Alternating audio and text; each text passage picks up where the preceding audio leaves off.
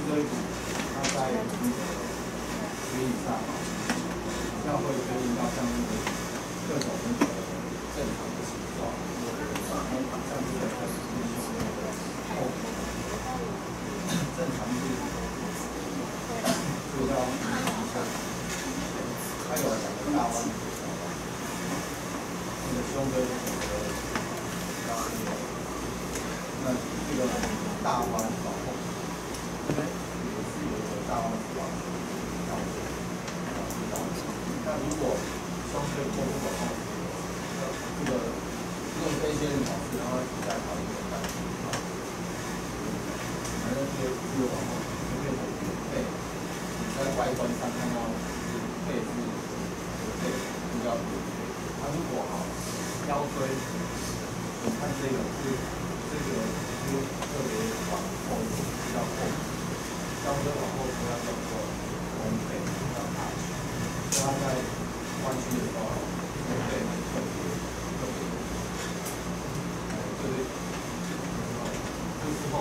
在秦皇后面。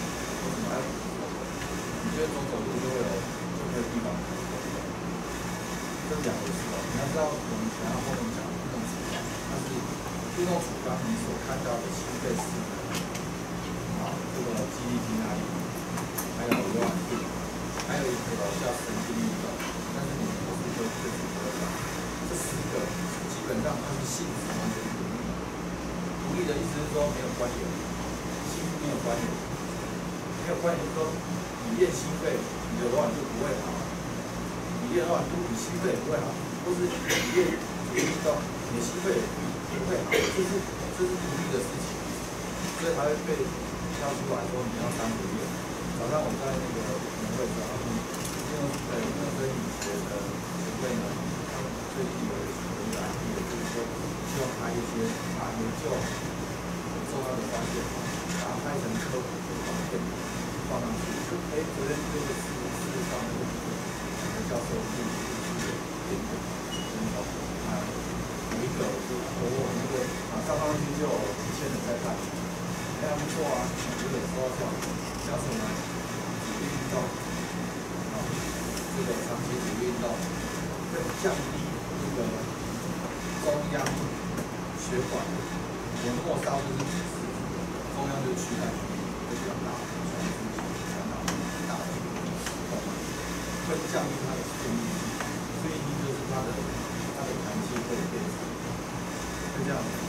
主力运动，长期主力运动，但是它另外一个就是，如果那个再加再加上耐力运动，它就会所以耐力运动对心血管的帮助是绝对有的。它主力运动只有看心脏，做那个。这一节，如果只看心脏的功能，左心室的然后指数，的确啊，体育运动跟耐力高的。多。可是如果两个再来比，这第一个，左心室里面的。强势的全都在，就是它那个容纳血液的。空间声音较大。耐力运动还是体育运动？对，耐力。所以心血管运动或叫心肺耐力运动，它的。确嘛，对对呃心脏功能也好，血管功能在结构上、在功能上都有很大的所以这个要鼓励的。所以那个所谓的这种心肺运动，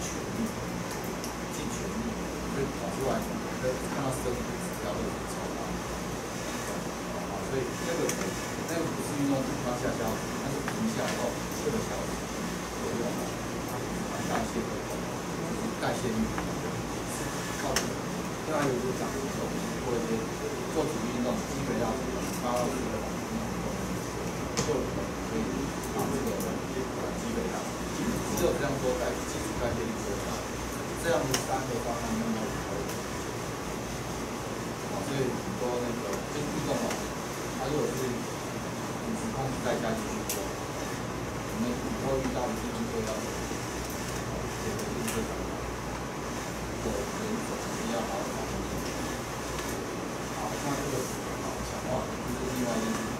做冲击的运动，冲击运动如果是跑步、跑步那个算是冲击运动，但它效果如果你知道还有更好的去做处理，就不是给自己什么，而是。对强化，还是要跟那个作地的少数比较有关。还有承受的重量有没有在脊椎骨上有关系？好，那脊椎骨跟那个囊骨啊，这些都，其实我们都，我们用编曲啊，这些，我们用编曲的外，或者是有做那个爬梯啊，有模型，躯干有稍微前移，又承受很大重量，那还有对那个骨骼上面去做一些清啊。好，那那这个，它对于。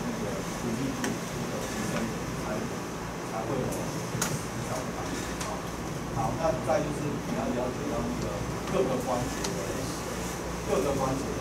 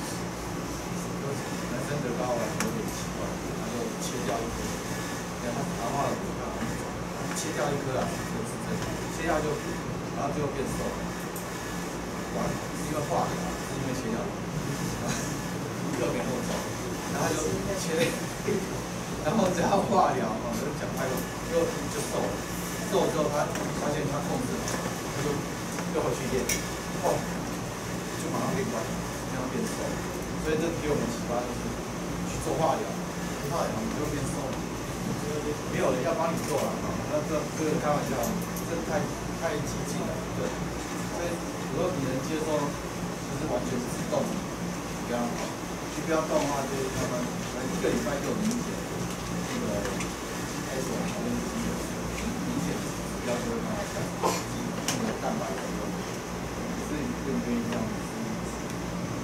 他会干扰他的作息生活，啊，所以就是都这样，我觉得哈，所以说你应该学的习惯。其实我觉得华为电池能量很贵，我觉得应该常见不到。这个是深至还给你的外设一样，所以你站上去你就断了，在地下可以。那那这个这里面有一些特殊的做法，像那个纸的大小。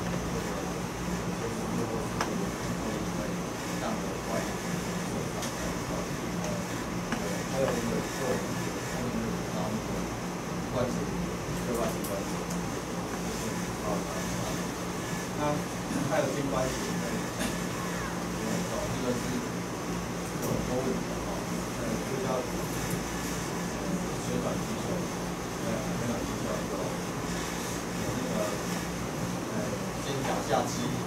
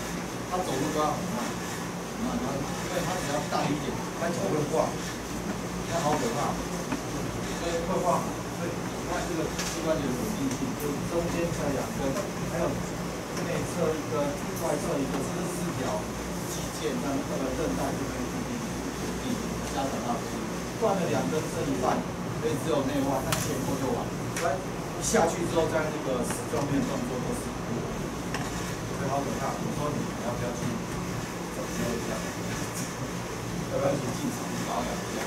他说医生那时候跟他说不一定要动手术，不一定，那你就你就不敢运动了，不敢做长期的运动，身体然后要快要毕业的时候，就是在毕业前一阵要换很多工作。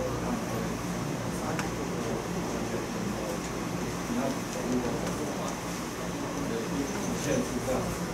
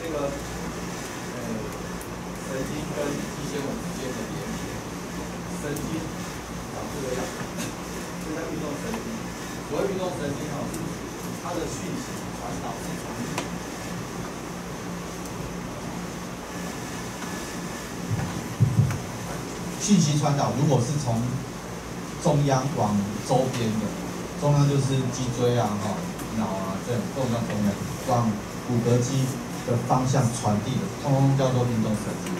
所以运动神经不是只有，不是只说去支配骨骼肌的神经，不是哦，它是指方向，是由中枢往周边传的，就叫运动神经。它除了支配骨骼肌的这一种类型之外，还有还有什么呢？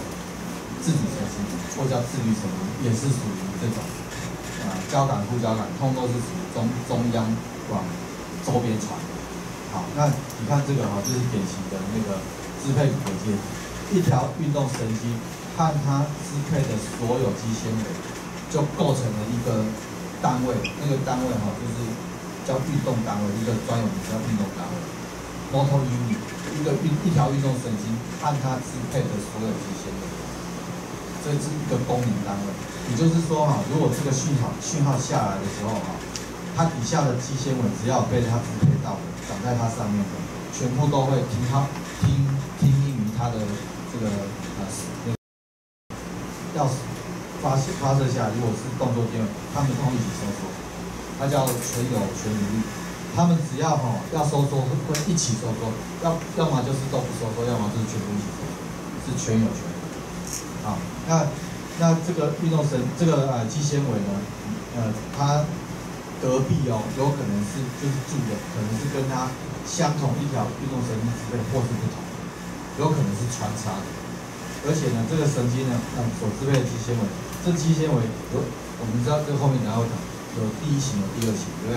有白肌红肌，那些白肌红肌哦，在我们绝大部分的肌群，它都是掺杂百分之五十，约约都是这个比例。一半一半，所以也就是说，你这一条是红肌的肌纤维，可能旁边是住的是那个白肌肌纤维，而且它们运动神经是不一样的，所以它是穿穿插交替的，不会说这一半是那个白肌，这一半是红肌，不会这样，它是穿交错这样子构成的。那红肌跟白肌呢，它们的呃这个呃阴阴印那个强度运那个呃是不一样的，也就是那个神经哈的粗细，这个神经会。支配的呃神经会决定的肌纤维到底要长成第一型或第二型，要长成白的或红的。神经是有粗的、粗的、细的的分别。粗的传递速度快，它就要叫这个肌肉快一点收缩，来应应这个强大的重量的要求。那如果是那个啊肌纤呃那个神经是细的，那它就是应付什么？长时间，然后它不一定要快，它可以慢一点，但是它要应付。时间很长的，可能也许一一两个小时、两三小时那种收，慢慢的收缩。像那个耐力运动就是需要很紧的帮忙。如果是那个阻力运动，它是属于无氧运动，它都是大重量的啊，所以它基本上就是需要那个那个白肌的帮忙。所以运动神经哈，它的粗细会决定了那个底下肌纤维的发发育发展，它到底要变成哪一种类型？好，那再你看这边有细胞核，这个细胞核。现在目前了解哈，这些细胞核会因为你阻力运动的训练哈，让这个细胞核变多。现在很多研究做做出来证明说，你你阻力训练练练练苦苦练一阵子划得来，你苦练一阵子哈，这个细胞核哈，我先说说定义一下，这个肌纤维一条肌纤维就是一个肌细胞，但它不是单一的，它是多核细胞。它原始还是一个细胞一个核，但是它是很多个细胞融合在一起，然后变成一条长长的形状，里面就有很多个核，很怪，它是一种特特化、特异性很高的细胞。一般我们的细胞都是一个细胞一个，它不是，它是很多哈住在一起，它就变成一个多元家庭。你这样形容知道对不对？就是这里面一条肌纤维有很多个细胞核。如果你在训练的时候哈，刺激到这个细胞，这个。这个肌纤维好像有一点，诶，让它超结构的受损，结果它就会怎样引起一点点发炎，它就会吸引那个，呃，叫做卫星细胞，它是属于干细胞的一种，它就移动过来，然后就在这上面住进去了，就是那个细胞哦，的细胞核就住进去了，住进去以后啊，这边本来三颗就多一颗进来，变四颗，多四颗就是它里面的人手就多了一个人，本来三个人手现在变四个人手。细胞核各位你还记得它是干嘛用的？细胞核里面有遗传物质，有 DNA，对不对？DNA 可以表现 RNA，RNA 表现蛋白质。那蛋白质，哎，那就是我们的这个收缩蛋白，有粗肌丝，有细肌丝。收缩蛋白多，你看到肌肉就是肥大，这样了解哈。所以你日苦练一阵子，肌肉不容易不见。它细胞核多了以后呢，就算休养。啊，停止训练，细胞核只要还有还有在，就叫留得青山在，不怕没柴烧。它有一天你在恢复训练的时候，很容易就看到成果。所以那个，呃，它是很划得来。但如果是那个，呃，那个耐力运动就没没这样，没没练就没了，就再见。你要要要改变就很困难。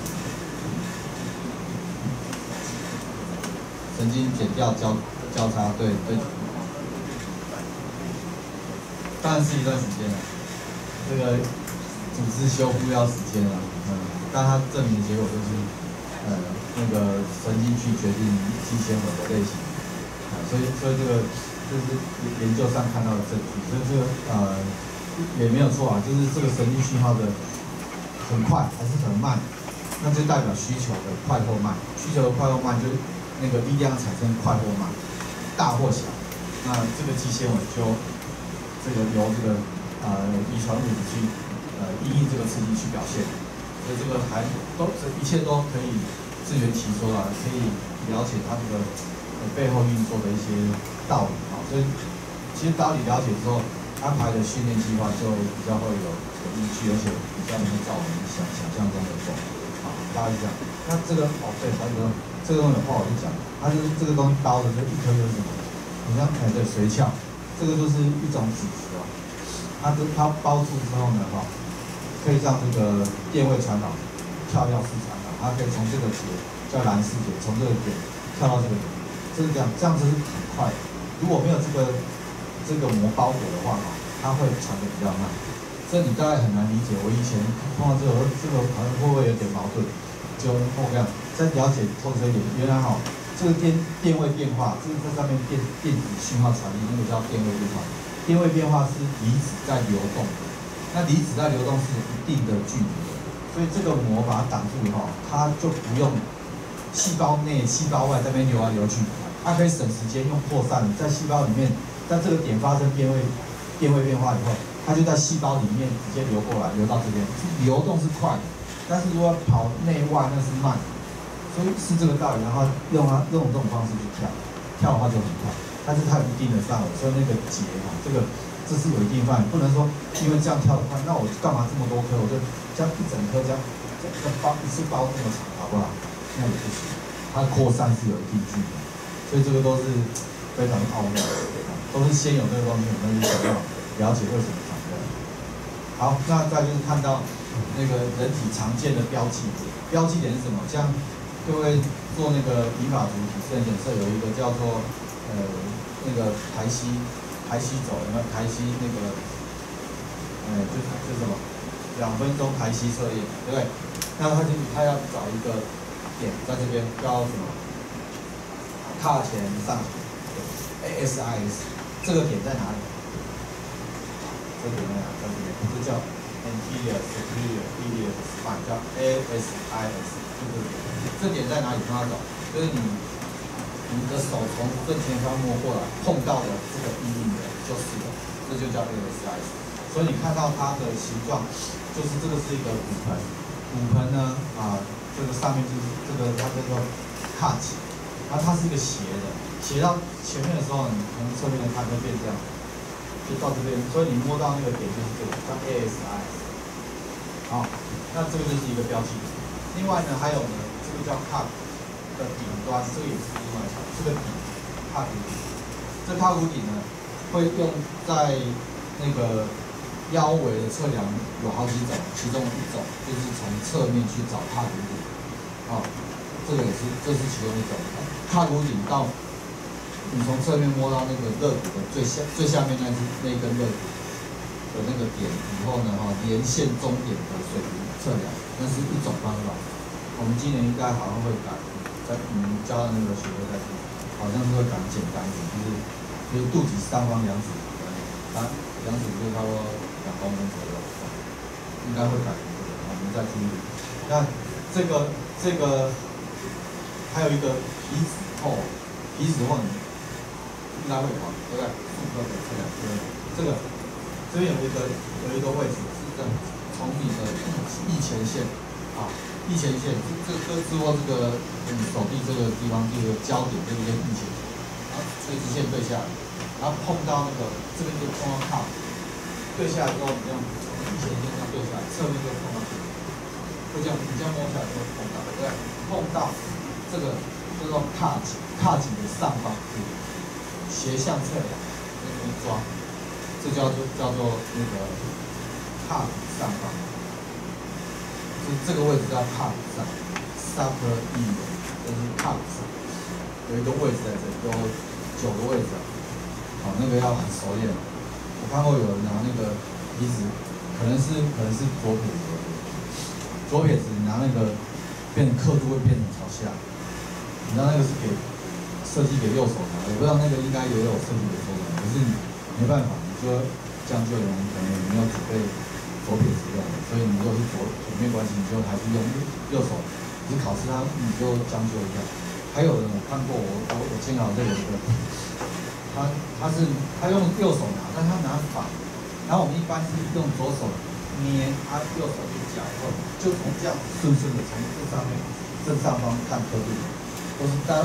都是这样啊，就那个很厉害，他他不是从上面捏下夹，他反过来，他是底下捏上面，所以他是这样在看，然后我要跟他这样看，他柔软度太好了，啊，所以这样子有没有算错？其实如果看原则哈，他没有算错，可是这样子太辛苦了，啊，然后我我是没有算他说，我觉得很很惊讶，这么有创意，我没有从来没有看过这一招的，啊。所以，不要给自己找麻烦。那还有人没有拿过皮子夹，你们呃，就是一定要去熟悉术科哈，一定要熟悉场地的摆设啊的原则跟那个器材，一定都要用过。你再怎么熟，还是要用用过。啊，还要熟悉一下那个呃，就是用意向练习。考试前，假设你不可能都拿着嘛，那一个夹子要一万五。现在搞不好很多，钱我都买，一个一万五，我本来想这个东西一万五才不要买，它它是学校设备就一定买之后，这个就是它它它那个甲还是比较清楚，好，那你你可以到那个，你你可以买那就是你家的那个，呃，晾衣服的那个衣夹，拿来就是类似的动作做一做这样子，好，但是它不会准，就是只是传流一下那种感觉，好，那这个就是。常见的标记点，好，那还有那个大转子，那个大转子的外，嗯，就是股骨的外外侧这个凸的，这比较少被拿用，也算是标记比较少。那另外，另外就是这个手肘，手肘啊，这个诶伸直以后，这右手，这是左手，左手的这是外侧上髁，外上髁，内上髁。这个呢是什么？就是你运动伤害常发生的网球肘外上髁，对，左手，是那个，呃，这边的肌腱会拉伤啊。那你做旋转的动作的时候会拉拉伤，那没有练嘛，哈，那边就做就会容易失练。只是网球肘这边是高尔夫球肘，所以它这个原因都是因为那个啊。就是事业上造成的。好，那还有一个是肘关节后面，那叫做呃鹰嘴凸，就是这个这个凸的，这叫鹰嘴突。这边有个肩膀的哈，这边旁边肩膀这里的叫肩峰，这个这边凸的这个这个叫肩峰，啊不是这个，这那是脚，那个是髋关节，这边这叫肩峰，这叫鹰嘴突。所以我们测那个鼻子后有一个叫做。叫做什么？嗯，肩肱三头肌的怎么样？肩峰到鹰嘴突连线终点，呃，测量，有没有？有印象啊？那个就是一个一个标志啊，大概是这样。然后再来看这个脉搏，脉搏测量很简单，就是第一个你知道手势一定是这样，你不要用拇指，因为他认为说如果拇指里面的小动脉也比较粗一点，所以这样去测量啊，搞不好你自己的跳动跟对方跳动混在一起你都不知道，不知道是这一下是谁的。那所以这个是标准模式。另外呢，颈动脉可能也可以测。当这个脉搏很弱哈，那你用颈动脉这边很粗啊，很容易就测到那个次数了，就会就对。不是哦，这边要注意不要压太大力，因为哦，你那个颈动脉颈动脉窦这个附近有感压受器，意意思是它神经末梢，你如果压太大力，它会有一个神经反射回来，呃，副交感神经，然后会叫这个。心脏跳慢，这时候你测到的心跳就是会比较偏慢，变少，好，所以这个地方就这个要注意了，好。那我看过书，那个讲颞动脉也可以测，可是颞动脉是人的脸上面比较不方便，你要摸人家的头，嗯，摸手还可以的哈，那摸到脸上不太好，大概是这些。好，那再是围肠，围肠的测量，这个围肠呢，哈有。啊，就是呃八个部位嘛，腹部手，这个只有腰围啊，就是讲到那个呃测量你会考，还有腰臀比啊那个会考，其他的围场大概是都不会考。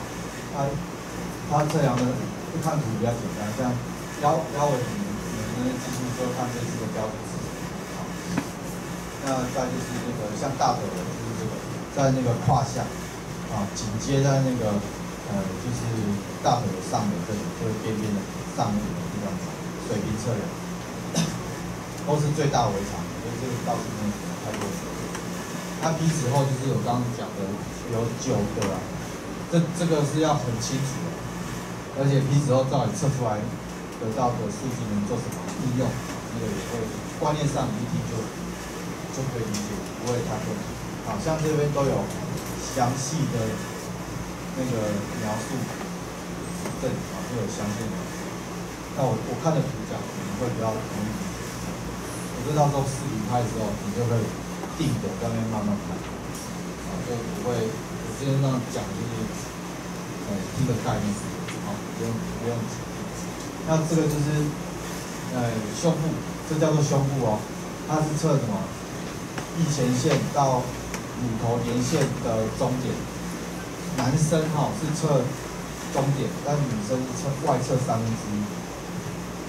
好，那这个呢是测翼中线，翼中线是这个，从侧面看这个侧柱窝正中间，啊，跟剑突，剑突也是一个标记点，刚刚没讲到，剑突也是哦，剑突在哪里？就是胸骨胸骨柄的最底下，这个凹进去的地方，那那个地方就是啊，然后。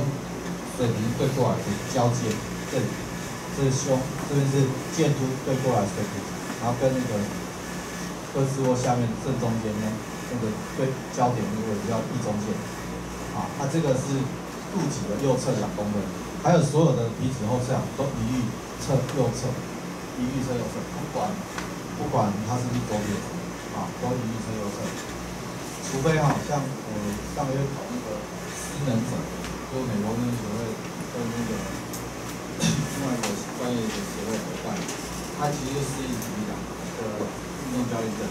那他他那个对于哈某些人他是身体障碍，他是啊比如说肌肉萎缩，那你要测他的皮质后，测那个萎缩的地方就没有意义。还有他那种那种状况呢，再去测 BMI 也没有意义。你看，比如说少一只腿。他就测 BMI 去算他有没有过重，好，那个那这种长模有没有？所以这种都是你可以参考一般的长模，然后把它修正成它的，修正就说跟自己比就可以了。就是现在是这样，然后这样比之后就可以测局部了。啊，只是刚刚讲萎缩的那一端有障碍的那一端就意义不大，但是正常功能那边就还是要测。好，就等于局部局部去看，那。那这个是刚讲的，踏上踏踏比上，踏踏骨上方，就是这个位置，就是从这边预前线对下来，碰到踏骨的上面一点，斜向侧仰。这边还有一种会跑的跑，到底哪个位置跑？是斜向侧仰还是直垂直侧仰？像刚刚讲的那个胸部，这个是斜向的哦。好，你们在操作的时候也要搞清楚，你先看图理解，然后呃自己测图看不到，你可能要找你的好朋友或是家人来当 model 来试试看，捏一捏，没有皮指甲也没有关系，去用手去捏，因为哈你捏的技术。不好的时候，你的误差会很大哦。误差很大，你现场是要量出数据的哦。数据如果差异太大，你就会有问题了，会耽误很多时间，好，你也会紧张。所以一定要找你的家人、好朋友来实际上捏一捏、捏捏脚去做这个动作的练习，比较很稳定。好，那这个呃胯骨上还有呢。背部，背部肩胛下，肩胛下怎么测？就是这样弯上去，这个一样哦，先屈肘，然后就会露出那个肩胛下角。没有，没有。这个好，像看不到肩胛下角，因为它已经手已经放下。你如果手肘是这样弯的，它这边就会有一个三角形，叫肩胛下角。然后它的往下在一两公分的这个地方哦，去做斜向的测量，这个就是，啊斜向哦，所以刚刚你看有好几个都是斜向的啊，大部分是垂直的，少部分是然后。再就是那个肱二头肌，二头肌哈的位置是三头肌先测完以后再来测，三头肌是在这边测，对不对？然后二头肌是三头肌的位置知道以后，水平对过来以后哈，再往上一公分，水平对过来哦，然后再往上一公分，是它的待测点。好，就是我这边打打个叉，待测点知道以后哈，这边讲，待测点知道以后，你要去捏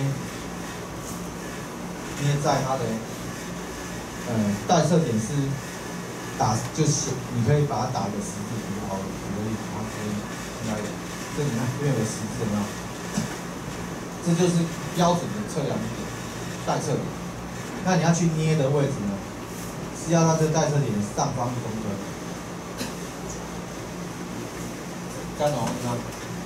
这边打一个十字是根据标准，刚刚讲的标准去找到的位置，那是要测的。然后你要去捏它。你不能捏在上面，你要再往上面一公分，这样子才缓冲一个空间，你可以去用夹子夹。你捏在刚刚好那个位置，会夹到它下面，那就不是在带测点，会有偏差。这样懂懂意思哈？这些这个理解它的那个一些小技巧啊。然后再就是大腿，大腿是最难测的，它的那个呃皮。呃，皮下脂肪跟那肌肉哈比较黏的紧，所以大部分人哦不太好测。我他以前带实验课，那个学生量这边都哇哇叫，直接量起来，说哦好大一坨，到底是还是不是，很难判断。在这边不太好测。那如果你考试哈，我们考官都会找那个很好测的，不会刁难的，就会找那个皮看起来松松的哈，它也不会找胖胖的，就是。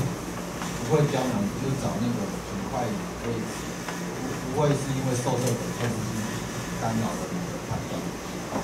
但我们会先测试最强，那你测到跟我们差异太大，那就就是不会，因为你测不准。那那是考核上面会被扣项目。好，好，那你你万一哈，我通过那个，就是他测的时候，他忘记了，他可能太紧张忘记。你看，比如说抽到的题目说测那个。啊，比如说我随便举例，比如说测肱三头，假设测就熊熊忘记，不知道肱三头肌在哪里，还是那个位置要怎么找忘忘记。我跟你讲，你忘记怎么办？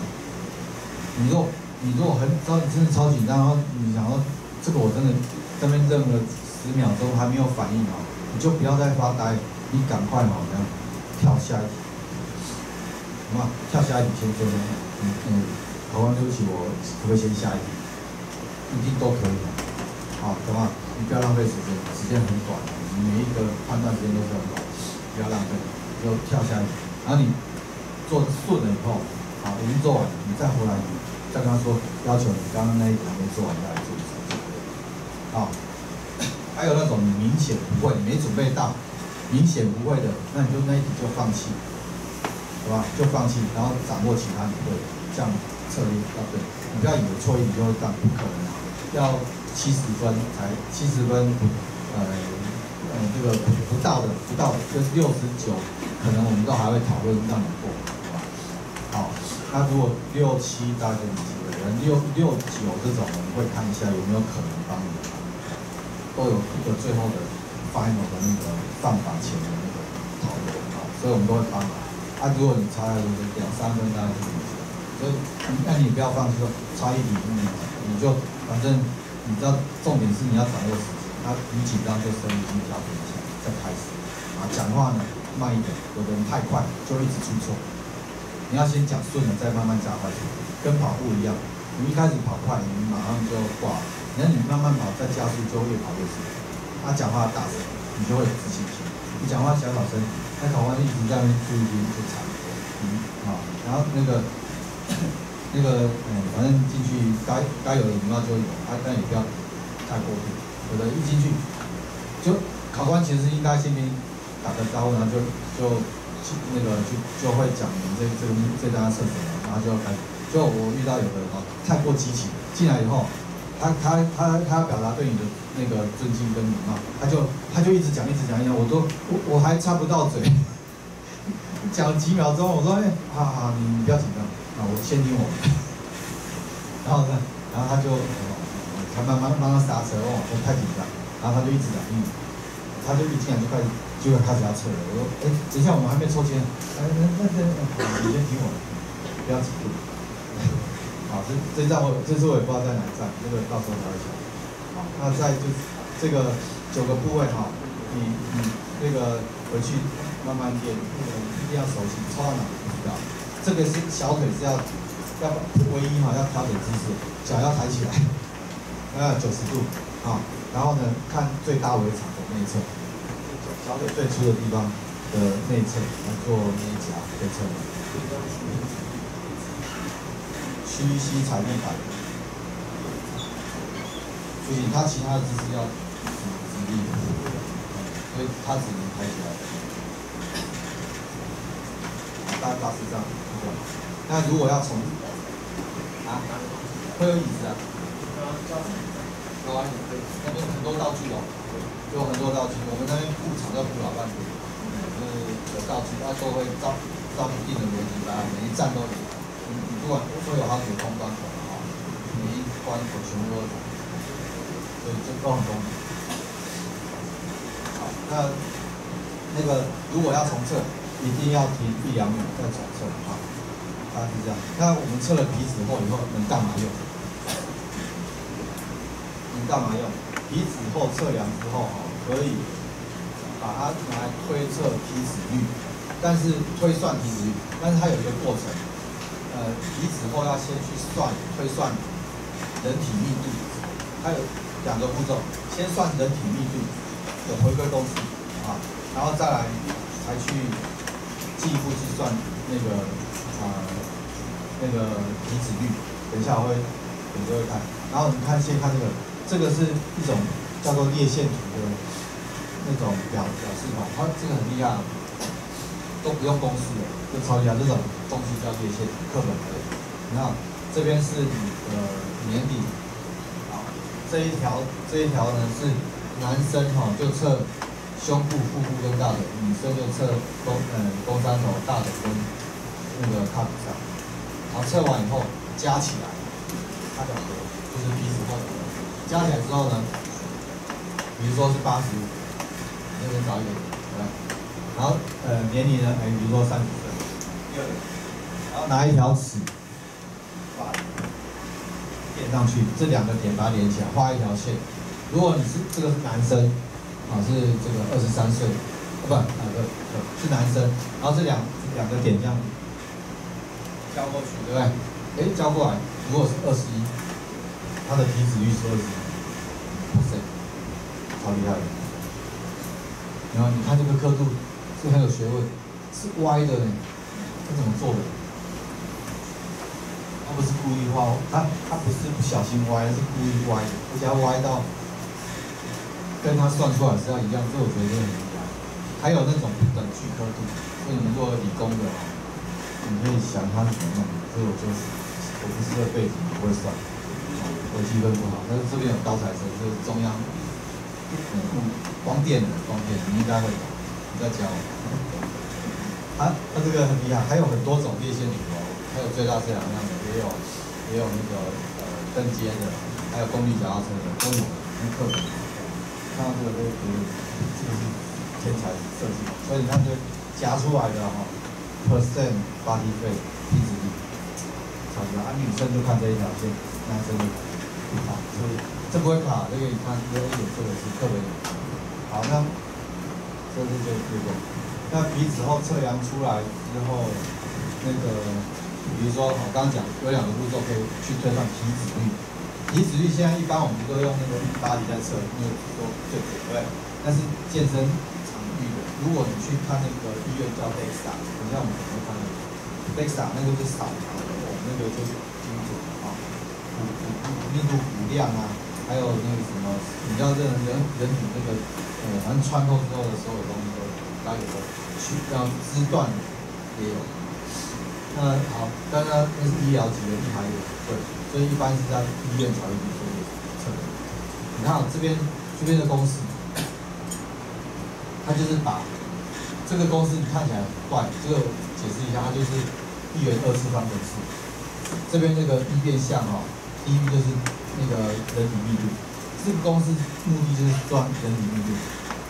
先由皮脂厚的核去推算人体密度，这第一步骤。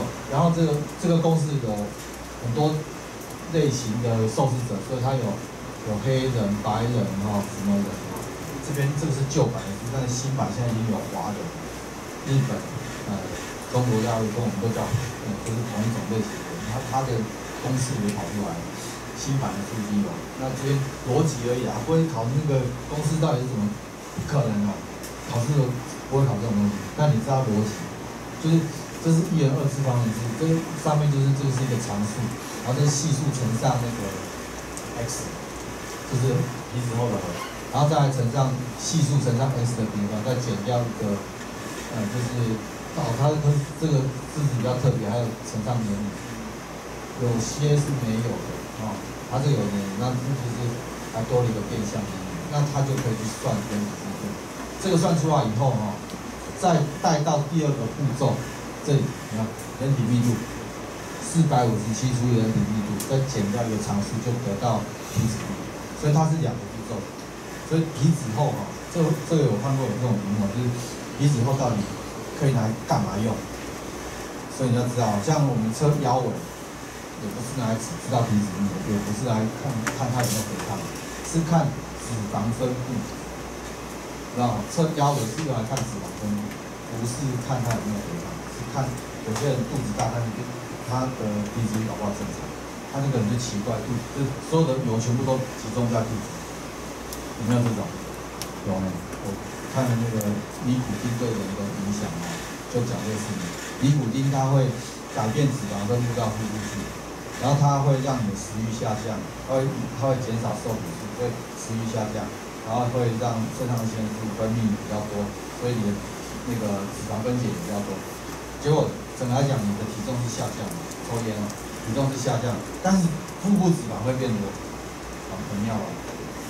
所以它整个来讲是超超超高的，就脂肪全部来通通集中到肚子来这样子，它体重还下降，然后这个肚子的脂肪多。好不好？不好，超糟糕的。心血管疾病都跟腹部内脏脂肪堆积的数量是有关的，高相关的。两个人 BMI 一样高的时候，哈，如果如果这个人的假设 A 跟 B 的 BMI 是一样的等级，不管是有没有过重或者是正常都一样，那一个呢 A 呢，他的腰围没有超标，正常的。另外一个哦超标，哪一个的罹罹罹罹患慢性病风险比较高？B 哦，B 会高一个层级的，这个都是课本上有提的哈，所以你要这个概念。好，那这个这个这个方法叫做水中称重法，过去呢都被当成是那个标准法标准黄金指标，但它有点麻烦。这个这个在我们师大分部的那个研究所的走廊一楼有一台，有看到？有一台这个，啊，那可是好像没有拿来用。里面我有一次经过之后，怀疑它里面到底现在是什么，然后。放扫地用具，还有垃圾，这是研究设备啊，都变危险。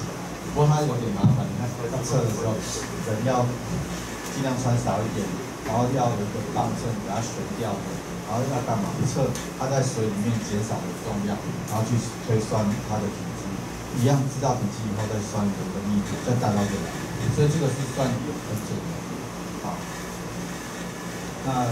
这个就不用。好，还另外一种叫，刚刚那个叫水中称重法，其实它人是在那个水里面，水是一种流体。那有人就很厉害，就想到说，那空气也是流体啊，我们就来就来把人放到一个密闭的空间以后，把人放进去以后，哈，它它也会占掉一定的空间。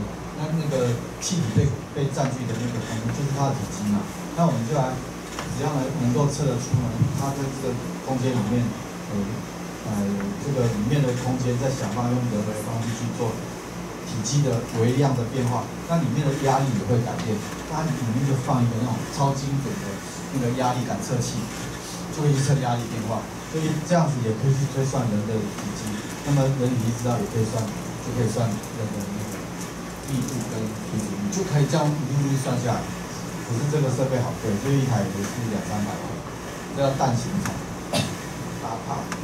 那也是很，那它就那个很贵，它的贵就是贵在那个精准压力的感测器是要很精准，还有体积这个里面的控制要很精准，这个也有这个，好，那比较流行的还是那个 ERA 生物电子吧，这个准确程度呢，哈，也是看有几个测量点，这个这个就有四个，好，它比较准的。要八个，第八级六十几万，六七十万就是八个，八个点的话出测出来的那个数据就是更表现出的那个指标更多。那嗯，那个一般的哦，问这个健康中心大概四个人这样子。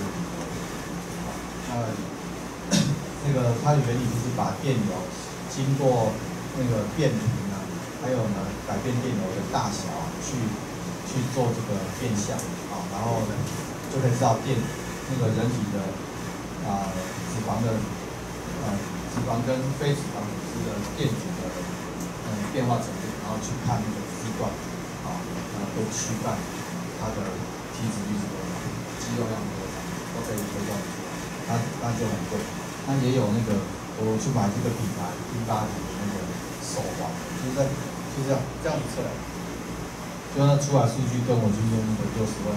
一样，一个八千块，手环八千。可是我很喜欢买这种玩具的穿戴的那个。昨天看，哎，我们师大还有那个功率计是，功率计跟骑脚车功率计是有没有玩过功率计？一个都四五万块。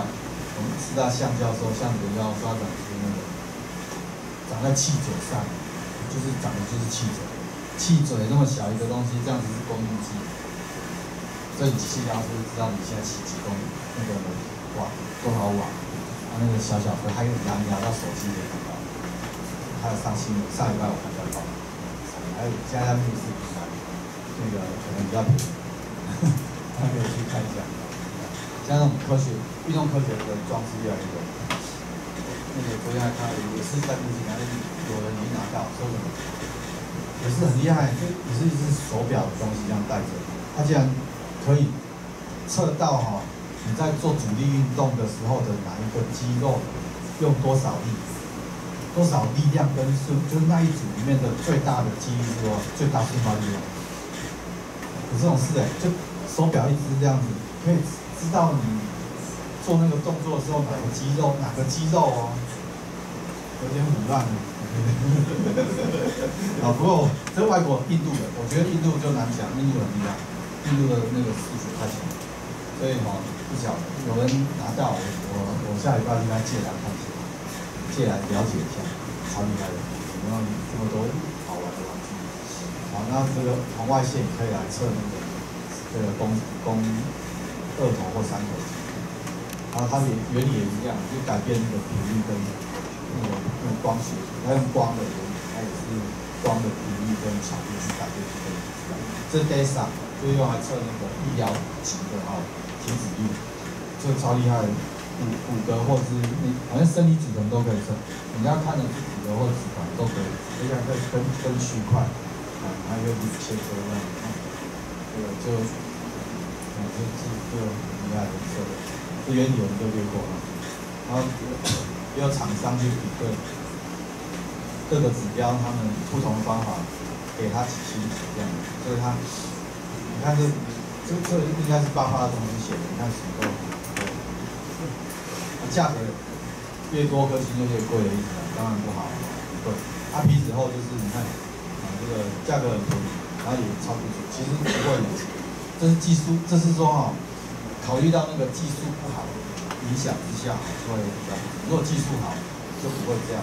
那课本上大概描述，大概误差率差不多四四五是这样，跟其他的也差不多呢，三五是这样，不会差异太大。它嗯嗯，所以可以比对一下，参考。好，那我们心电图哈，在心电图是不会考的哈，不过那个课本有就带带带过去的，是这是 AED，心电图就是摆那个心脏上面要去观察心脏电位变化的方向。好，那它有六个导极，然后肢那个肢体有四个导极，它加起来组合，最后会看到十二个十二种波形。这十二个波形可以用来判断心脏在收缩舒张的时候，它的它是有异常的现象。正常来讲，那个心脏哦，这其实要看心律不整，心脏那个都听听命于那个右心房上面的窦房体来来那个呃收缩舒张，它会有一个呃规节呃那个规律的那个去极化跟在极化的过程，造成电位变化。那如果哈、一个心脏上面同时有几个不同的位置都有这种现象，就是智力回往，每个人都说他要收缩舒张，那这心脏就没有办法团结，那它瞬时送出的血量就会变少，那这个心脏就叫做心律不整。那如果看它发生的部位哈、越影响越大的，它可能就会有致命危险。所以这个谁谁会有这个问题呢？平常还是看症状。然后如果有症状，可能就要去建议到医院去做检测。那最好还是做运动心电图。他知道运动心电图结果，你也比较能够掌握你的运动强度，不要超过多少以上，这样子你才有活命的机会。那不然就是我上上礼拜去慈济大学讲那个，他们给我的题目啊，这个叫做马拉松运动对健康的影响。他们是医学院，所以他们。要听的东西，我觉得讲负面的也没什么关系。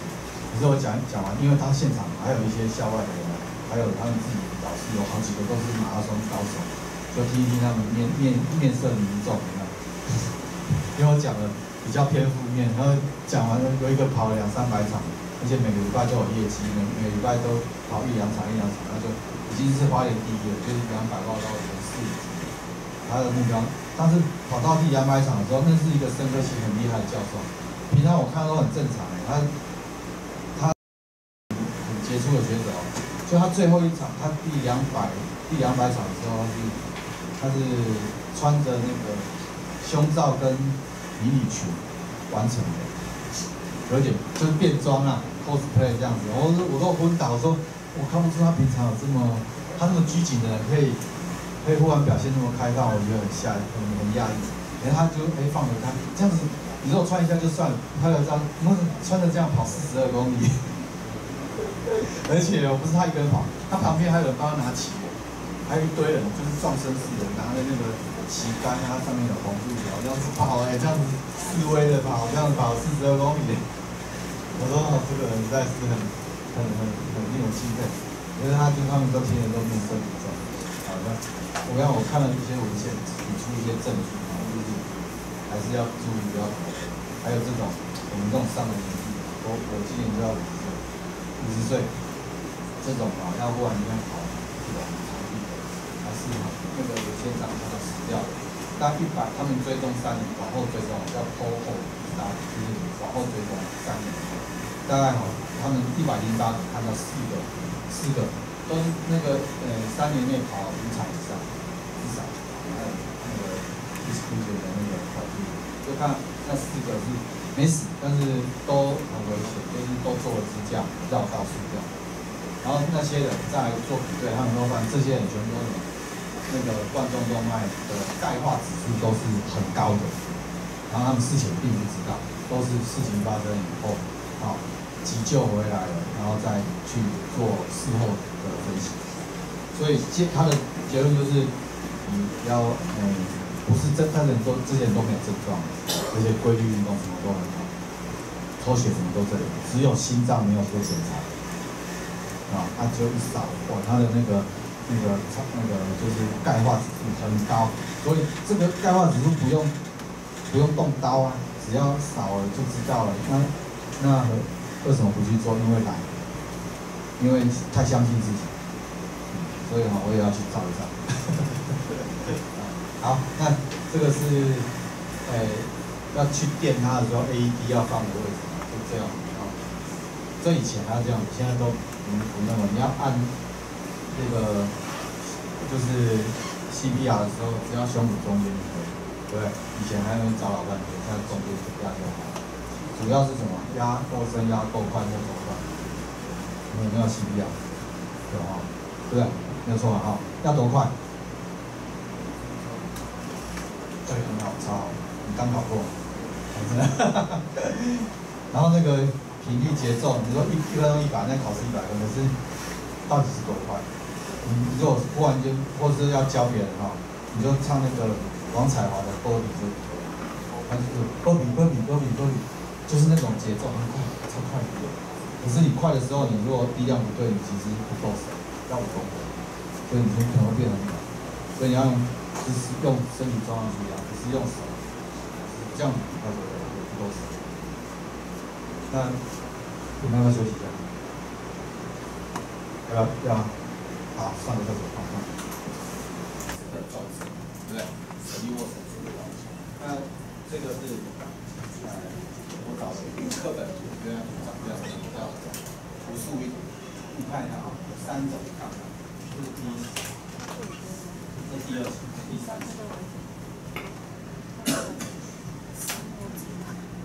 那那个第一型杠杆哈，就是支点在中间，有有有三种东西，有支点，有施力点，有抗力点。啊，抗力点就是重力，施力点就是用用的嗯肌肉用的力。啊，那这个叫做第一型杠杆，就是支点在中间。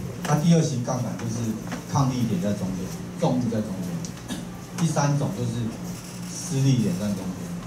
那如果比对成我们人体的那个关节肌肉的骨骼关节肌肉的那种模型啊，你看这样脚在做举重动动作的时候，就是抬脚跟的时候哈、它就是属于哪一种哪一种杠杆？你把这个作用力都找出来，有这是支点，拖引在那个水平面上，你遐想一个水平面在这里，对不对？然后把这些作用力全部投影下来，你就会看到杠杆出现。这个是支点，对不对？脚掌在这里，前脚掌在在支点，然后这个是那个重重量所在，对不对？那再就是 C 点，所以中那个抗力点在中间，就是第二型啊，就这样看的。啊，如果是这个呢？这个呢，它的这个是它这个手肘，这个就是它的支点，这是抗力点，施力点就在中间，所以这个是第三型。所以用这种投影到里面去看那个杠杆，就可以分辨出来，很容易啊。像这个，顺道提一下，这个肌肉在收缩的时候呢，哈、这个手肘拿这个这个重物啊，这样，我们那个，哎，不是会有做那个三十秒那个曲肘的那个次，对不对？啊，英法族的那个几次能检测，你注意看啊，如果你这样在弯在做曲走的时候呢，它是你的感觉哈，始终都是一样费力的，不是嘛？对不对？哈，在有人算哦，大概一在一百度的时候，这个角度啊，一百度的时候，你会觉得最吃力，因为那时候力矩是最大的，力矩啊，在这个都是转动，这种这我们的关节活动都是造成转动，这些转动呢，哈，那个造成转动的的原因叫做力矩，造成物体移动的叫做力作用。力，所以转动叫力矩，力矩会等于力乘上力倍，而且它是要在。互相垂直的分量上去乘相乘，它是向量，所以哈，有人去看啊，这个一百度的时候哈，这个作用力和这个呃力背，力背跟作用力这两个成绩就是力矩，它会是最大的，所以我们的感觉会是最累的。那可能你在练的时候会怎样？会偷会偷懒，会这个地方会累，对我们在举很你很轻的时候没有感觉，你举很重的时候，你会这样一口气把它。通过那个，那叫偷窃，steal，就是偷窃这个点，就越过它，只要度过这一点，这叫困难点，或叫 speaking point，就是通过这个点之后呢，就轻松。有时候你如果你下去试试看，就拿比较重的来试，就会觉得到这边就哎真的是困难，通过就好了，就比较轻。那个是因为力矩在那时候是最大的。有人就在想办法让你不要偷懒，就做那个凸轮的设计。让让这个钢索哈，就是自由作用就没有办法。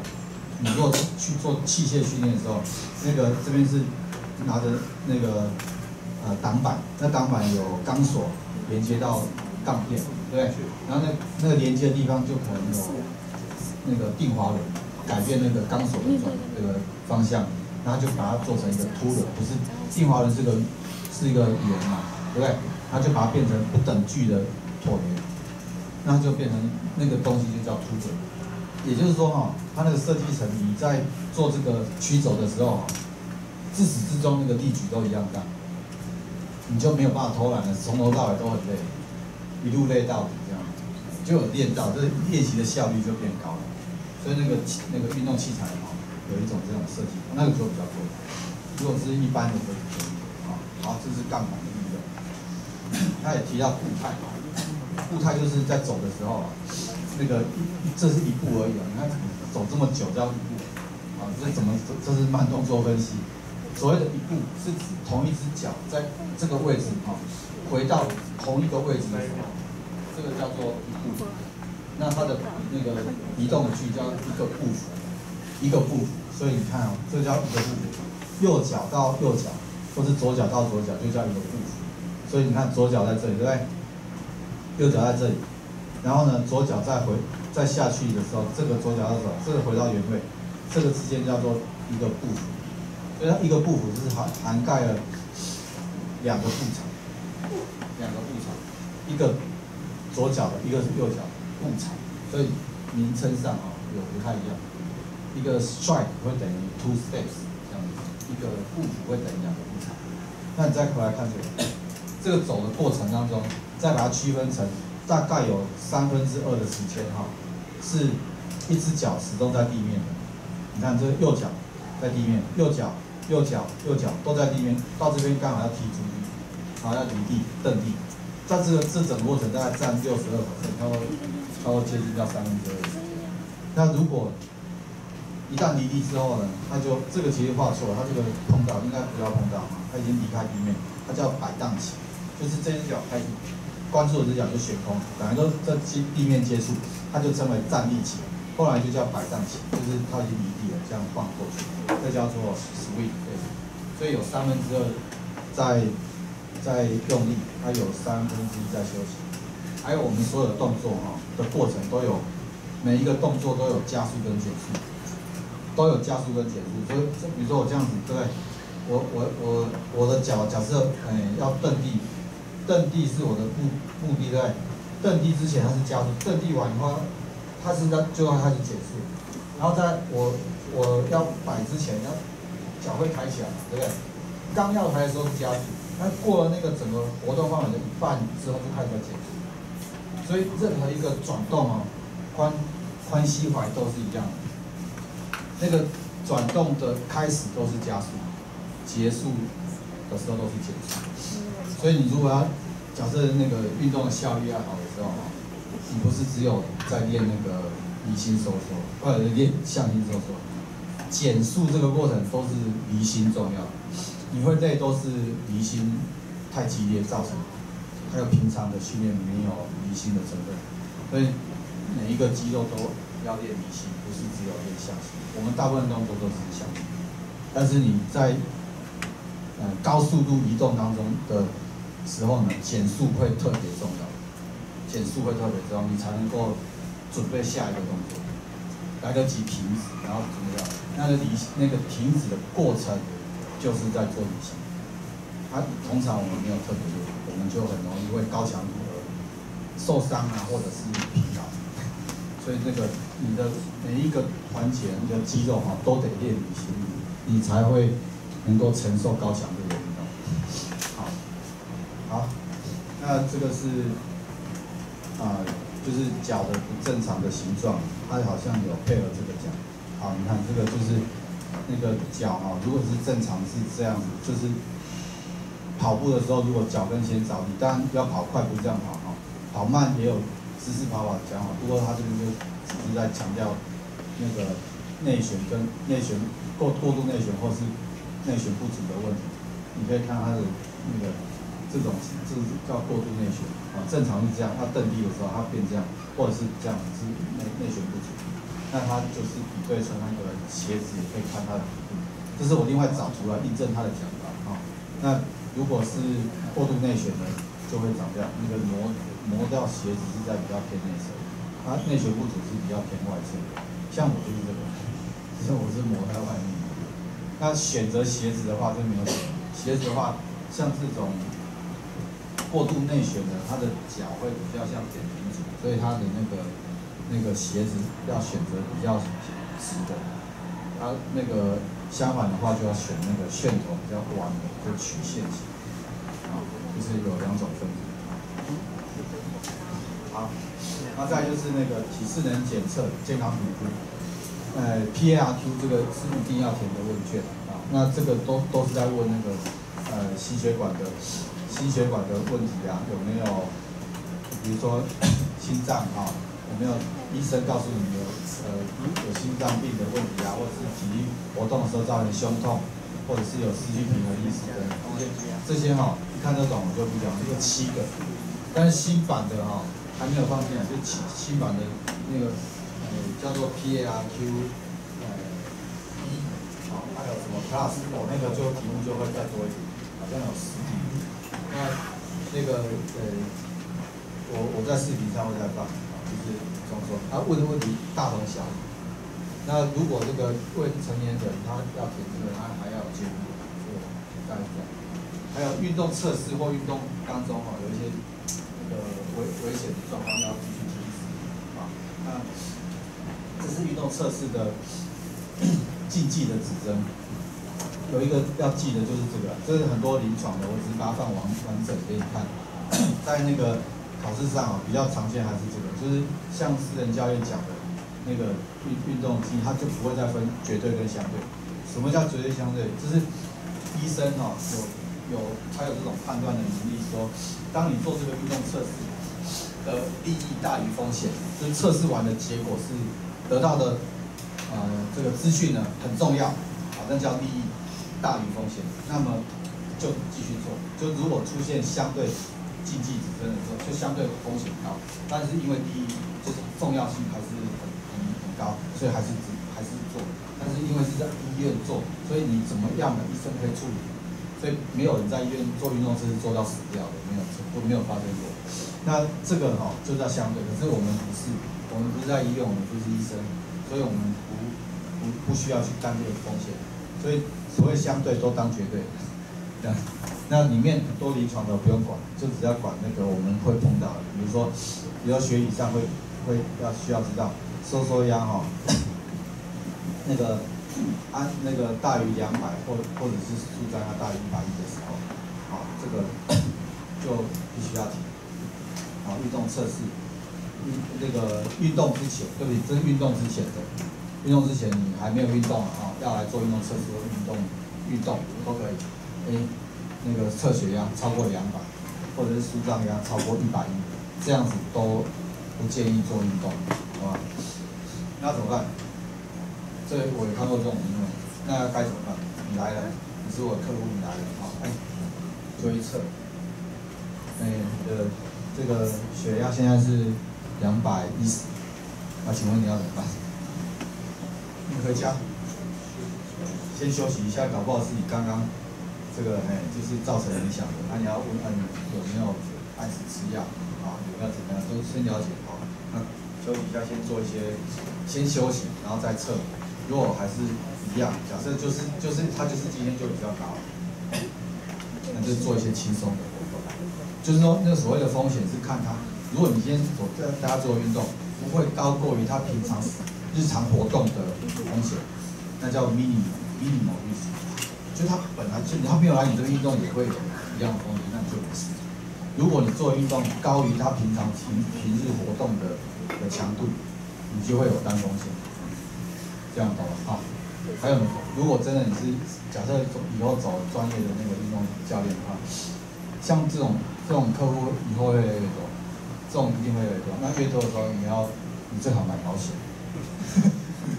真的，我现在考试证照，他们都会寄保险来，你要不要买个保险？我说我我没有在第一线，不用。我说在第一线我不买，这这个是比较，不要因为有人因为这样子。让客户死掉，哇，倾家荡产，真的，所以这个就是告不完。美国啊，不是台湾，台湾告不赢啊。这个因为哈，我看过很多案例，我也在收集，就没有都没有一个告告到很大金额，都是运动伤害，那种死掉的反而都没事。他那个运动伤害扭到手、扭到脚，告六十万的样子。啊，当没有没有都没有告什么，都没有很严重，都是判一两万，然后退还他的学费，就这样。继承车费这样，就还好，那法官都还算有人气。还有这个就是证据不足，没有直接因果关系，很多都是要证据。你说你怎么知道？你怎么说你这个原因是否造成的？要有因果关系。所以这这也告诉我们啊，我们在做运动指导说，一定要随时做一些呃记录，记录可能是影像的、声音的，或者是书面文字的。这些都很重要，对我们保障彼此之间的那个权益都很重要啊。好，然后如果正在运动测试，正在哦，正在运动测试，会发生这些事情，也该停止。刚刚是还没做，这些做了，这个要记得，就是收随着你的运动强度增加的时候哈，收缩压，收缩压这也要记好，收缩压会因为你运动强度增加而增加。那如果没有增加，反而还降低超过十，这个要背的，反而还降低超过十，那就要停。这边也是不分那个绝对相对，因为这是医生判的，我们都把它当当成绝对。超过十哦，还有那个舒张压，如果这个有没有写？这里哈，舒张压大于一一五，或者是那个血压哦太高了。运动当中一定会偏高嘛，对不对？但太高了，高了两百五，不行，你要停。好，但这个哦，还有一个问题是，啊你怎么知道？你说哎来测，运动当中要测血压是很难测的，所以这这是技术问题啊。那个但是是学理你要知道，啊那个技术的问题是另外一个问题。假设可以测的时候，那你要知道是不是标准？但大部分都不行。你知道那运动测血压的装置，反正王鹤生教授他就有一部。那一部是好几十万，好像四十万还是六十万，还是好几十万。运动血压计，如果我们一般的两千块就有。它那个运动血压计可以预闸坡啊，然后那个比较精准，这样那个要好几十万，跟运动心电图一样。因为一般心电图五万，那个运动心电图超过一百，你 你就知道那个那个有有加的那个滤闸坡啊，就功能就不一样啊。好，这个要记得。舒张压这我说一下，舒张压是不会增加，如果还有增加就危险，所以增加到多少？超过一亿，这个在哪一本书都是写的，你要记得，书章压好。大于一亿以上也是要立刻停下，也是一个危险现象。其他的那个都是临临床的指标，我把它放在给你提供当当参考啊。这个这个资料都是在那个第八版运动测试运动处方指引里面的内容。那那个是第八版，现在已经 这学在学校教已经到第十版，才刚出来。那个你们的那个中就是这次的考试会。大幅度修正那个危险因子啊，还有判断的那个流程啊，就是运动运动建议的流程，都是根据第十版的内容去修的。然后我费了很大的努力去说服啊大家来做改变啊，因为因为那个其实前年就已经出来，了只是还没有看到课本，已经在 ACSM 的网站上做公告，他很多的。那个呃，学者也写了一些文章在宣导，其实那个才对，就是现在改的那个才简单，简单又好用。它旧版的太难，然后又复杂，它不实用，它人家证明就是没用，搞那么复杂，跟 CPR 早期一样很复杂，就会搞得大家都不敢用啊。现在搞得很简单，那反而比较能够鼓励到大家去，而且才有实用价值。所以那个现在新版的精神是是，我待会。那个是重点跟大家介绍。那这里讲的那个是刚刚有说过啊，标准比，标准比啊，那个跟肥胖是有风险关系的。标准越不标准的话，越超标的话，那肥胖几率是越高。好，那再就是课本还提到一个叫做用心跳率去预测最大摄氧量的方法。这个好简单提一下就好，就是如果我们测试的过程当中，你可以得到呃运动的强度的数据，比如说瓦数啊，就是瓦数就是那个功率计，假设可以得到，或者是跑步机有跑步的数也可以，强度。另外你也得到心跳，心跳你带着心跳表就知道啊。假设有这两个指标，但是你是做次最大强度运动，我们我们运动测试是这样，一般哈。像成人的那个心肺试验，不就是登登阶吗？登阶测就是一种次最大强度测验。那但是那个青少年或孩童就学龄的，是不是都测八百一千六？八百一千六是最大努力运动。它虽然叫跑走，可是那个归属在最大努力运动。你看那种哦，属于固定时间去看跑的距离，或者是固定距离去看跑的时间，这种通通都是全部都是叫最大努力测验。最大努力测验其实有一定的风险。就是那个体能不好的，一定是我我我举例，我去比一千五的时候，那个在学校比运动会，我我们没有教职员组，我就去跟学生比，他学生比了，那个分分两组进行，一样跑出去的时候，我吓一跳，这些人怎么跑这么快啊？每个好像都国手啊，什么不到半圈他们都不见了，我跟最后一名哦有点难看，我就慢慢跑，还是能努力，我没有很慢啊，就照我的速度跑。我跟你讲，过一圈之后，嗯，这些人全部变到不见了，不会配速，他乱跑，害我吓一跳。这些人根本都兔子啊！你们听过兔子吗？就破风那种，那个就是来乱的啊！就我坏第一名，我这种还可以第一名。你看看他们乱跑一通，还敢去比赛？他们还有的说，老师，那个你可以教怎么跑一百公尺？我说一百公尺啊，啊你你什么时候比赛？我最近会问你。你要有准备时间，你下礼拜，下礼拜要要，然后现在要用怎么训练？我说，你就睡饱一点，然后不要受伤就好了。没有错啊，对不对？所以呢，我说你把目，然后我要鼓励他，你把目标放在里面，你这次就玩玩就好，感觉一下啊啊，那你目标放哪？啊，我来跟你谈，你比完以后哈，我们再研究要怎么个排除问题。过隔年他真的还有得名，一年级，所以我觉得很不错。要这样子，那如果你得到两个资料，有有运动强度，有心跳率，好，这样子哈，你是次最大强度运动。我刚刚在解释次最大，你你不用到最大努力运动，次最大强度要两个点，这一个点都是两个数据去构成的，对不对？这个点是两个数据，啊，这是做第三个，两个就够了，两个点得到以后。这两条这两个点可以有一个回归线做出来，对不对？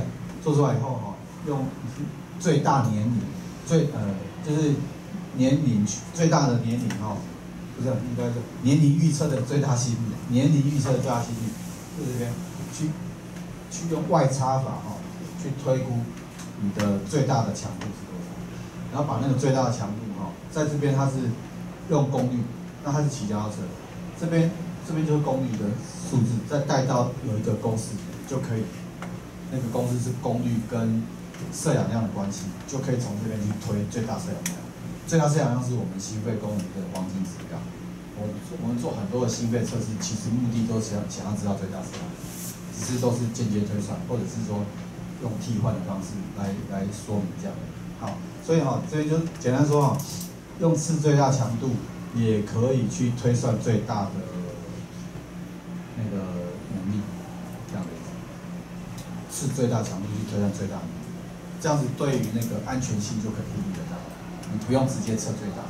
但如果是运动员，就不要测最大，因为平常就是已经超到快死掉，所以那个风险其实是很低的。那一般人千万不要，千万不要你你要的话来，你签一下同意书。你有没有看进手术房都要签同意书？所以你要签一个，你你还可以当成免死金牌。我有个学生，他他他是田径，他那个田径课，他就说，然后这是实实际例子啊，去年，他说李老师，我哈要去参加那个田径课的那个期末考，他那个我哈，他就讲了一很久，后来我才理解怎么凑巧，原来哈他心脏有症状，然后他就去那个台大医院做了体检，然后也做了运动心电图，医生明确的告诉他，心跳一百五十以下的时候，他的心率会出现心律不整，然后那那个是有致死风险的，所以医生警告他说不要做激烈运动。原来是这个故事，他都没有先讲，然后跟我那边啰嗦了半天，然后就他的他的如果他的意思说他这样他就会去参加期末？可是不是我教的，我一听，嗯，你说你不是在开玩笑吗？我说我说医生都跟你讲了，那你还你还活着算你幸运，还有参加的整学期的课程。不过你跟我问建议，那我就跟你讲，你就是哈、这样子，一两个，第一个你去找你你就把把你刚刚讲要跟老师那个诚实报告，那看有没有替代方案让你记得。啊，要不呢哈、我觉得你不敢去讲，那其实你就做第二个事情，就是你先去那个看一下哈、从田径场，哦，跑去找离田场最近的 AED 有会花多久时间？你先自己去测试看，啊，那很远哦，我们学校很大，两百五十公顷，跑很久。然后他就他说他说那一定超过四分钟，我说那你就死定了。我说你先去借，你先去借来，你要测的时候啊，你要测验的时候，你先借来放在旁边，然后你确定它是可以用的，那、你也会用，先把一个人教会，然后你再去测，这样保证你一定还活着。他听了也是很傻眼的、我说啊，不然你要我说什么？不然就是这样，你还跟我讲，你难道叫我装都不知道？啊，不行，对不对？我他还活着，他这个人还活着，所以应该有解决的。我不知道怎么解决，不敢问。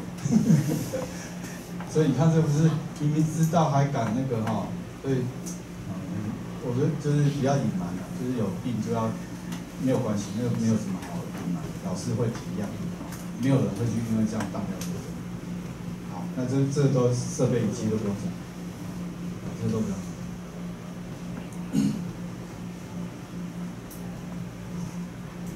这这是疾病，这个可以跳过。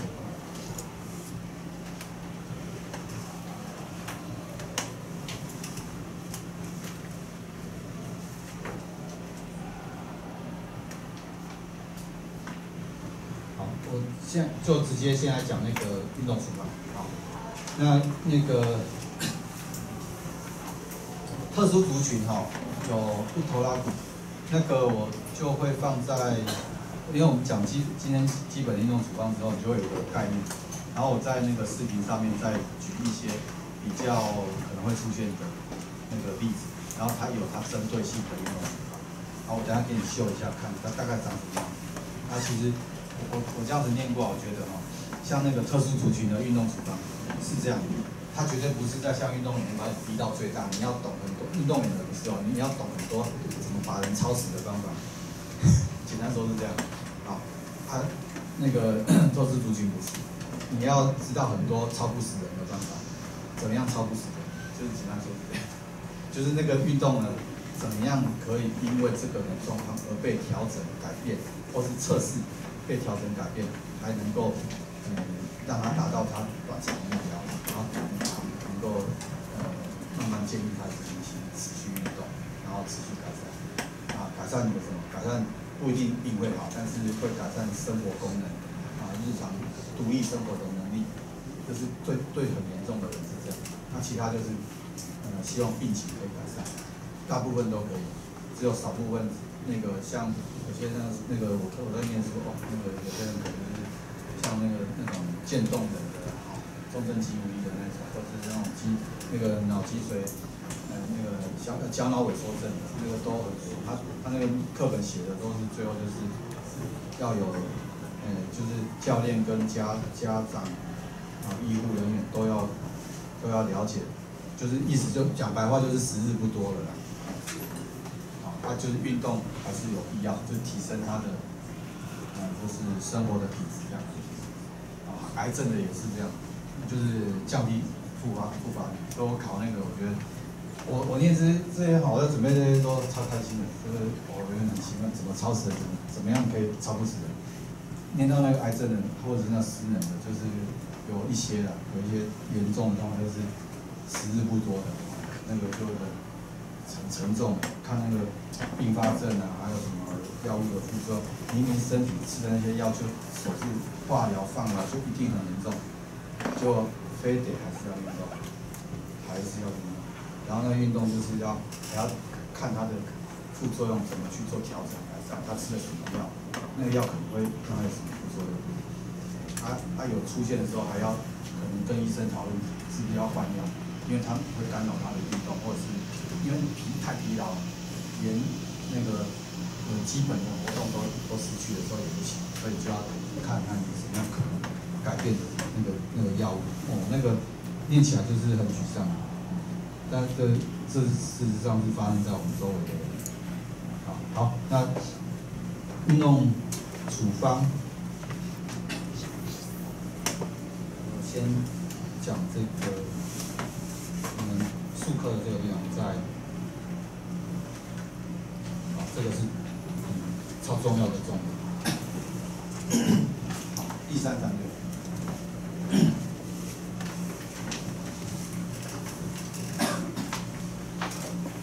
这呃先先谈到那个背景介绍哈，就是这是根据 ACSN 第十版。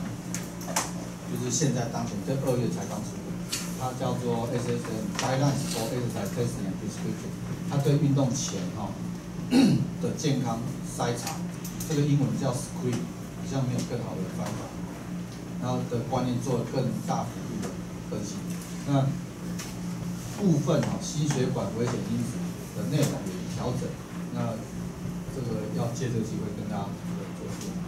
其实这个在上个月我们。做那个考官培训，这次有很大部分跟以前，以前考官只有少数人，现在扩大让很多人参与，就是让这个让考官的那个考官有更更多的机会让大家来轮流担任啊。那那考官的研习也是我我这一部分是我来说明的，所以就把这个我也拍了视频，这这个这一部分也有视频，你们也会收到，你们有收到了吗？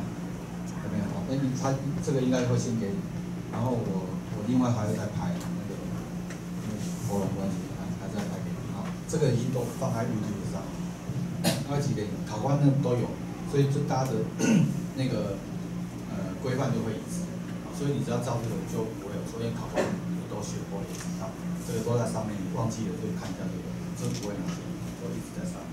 好，好，那我就说明它的内容。第一个就是对于那个这个你的附件这个啊，就来了一个客户或是来一个被评估的人，那我们要对他做运动建议。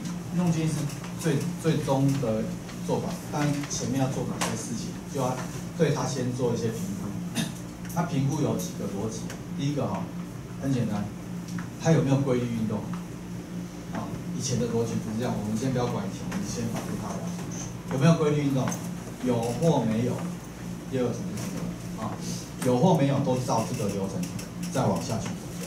那有哈，所谓的你们看这个有规律是什么意思？看底下说明，规律运动是指哈，在过去啊三个月内，每周有没有大于等于三次中强度运动？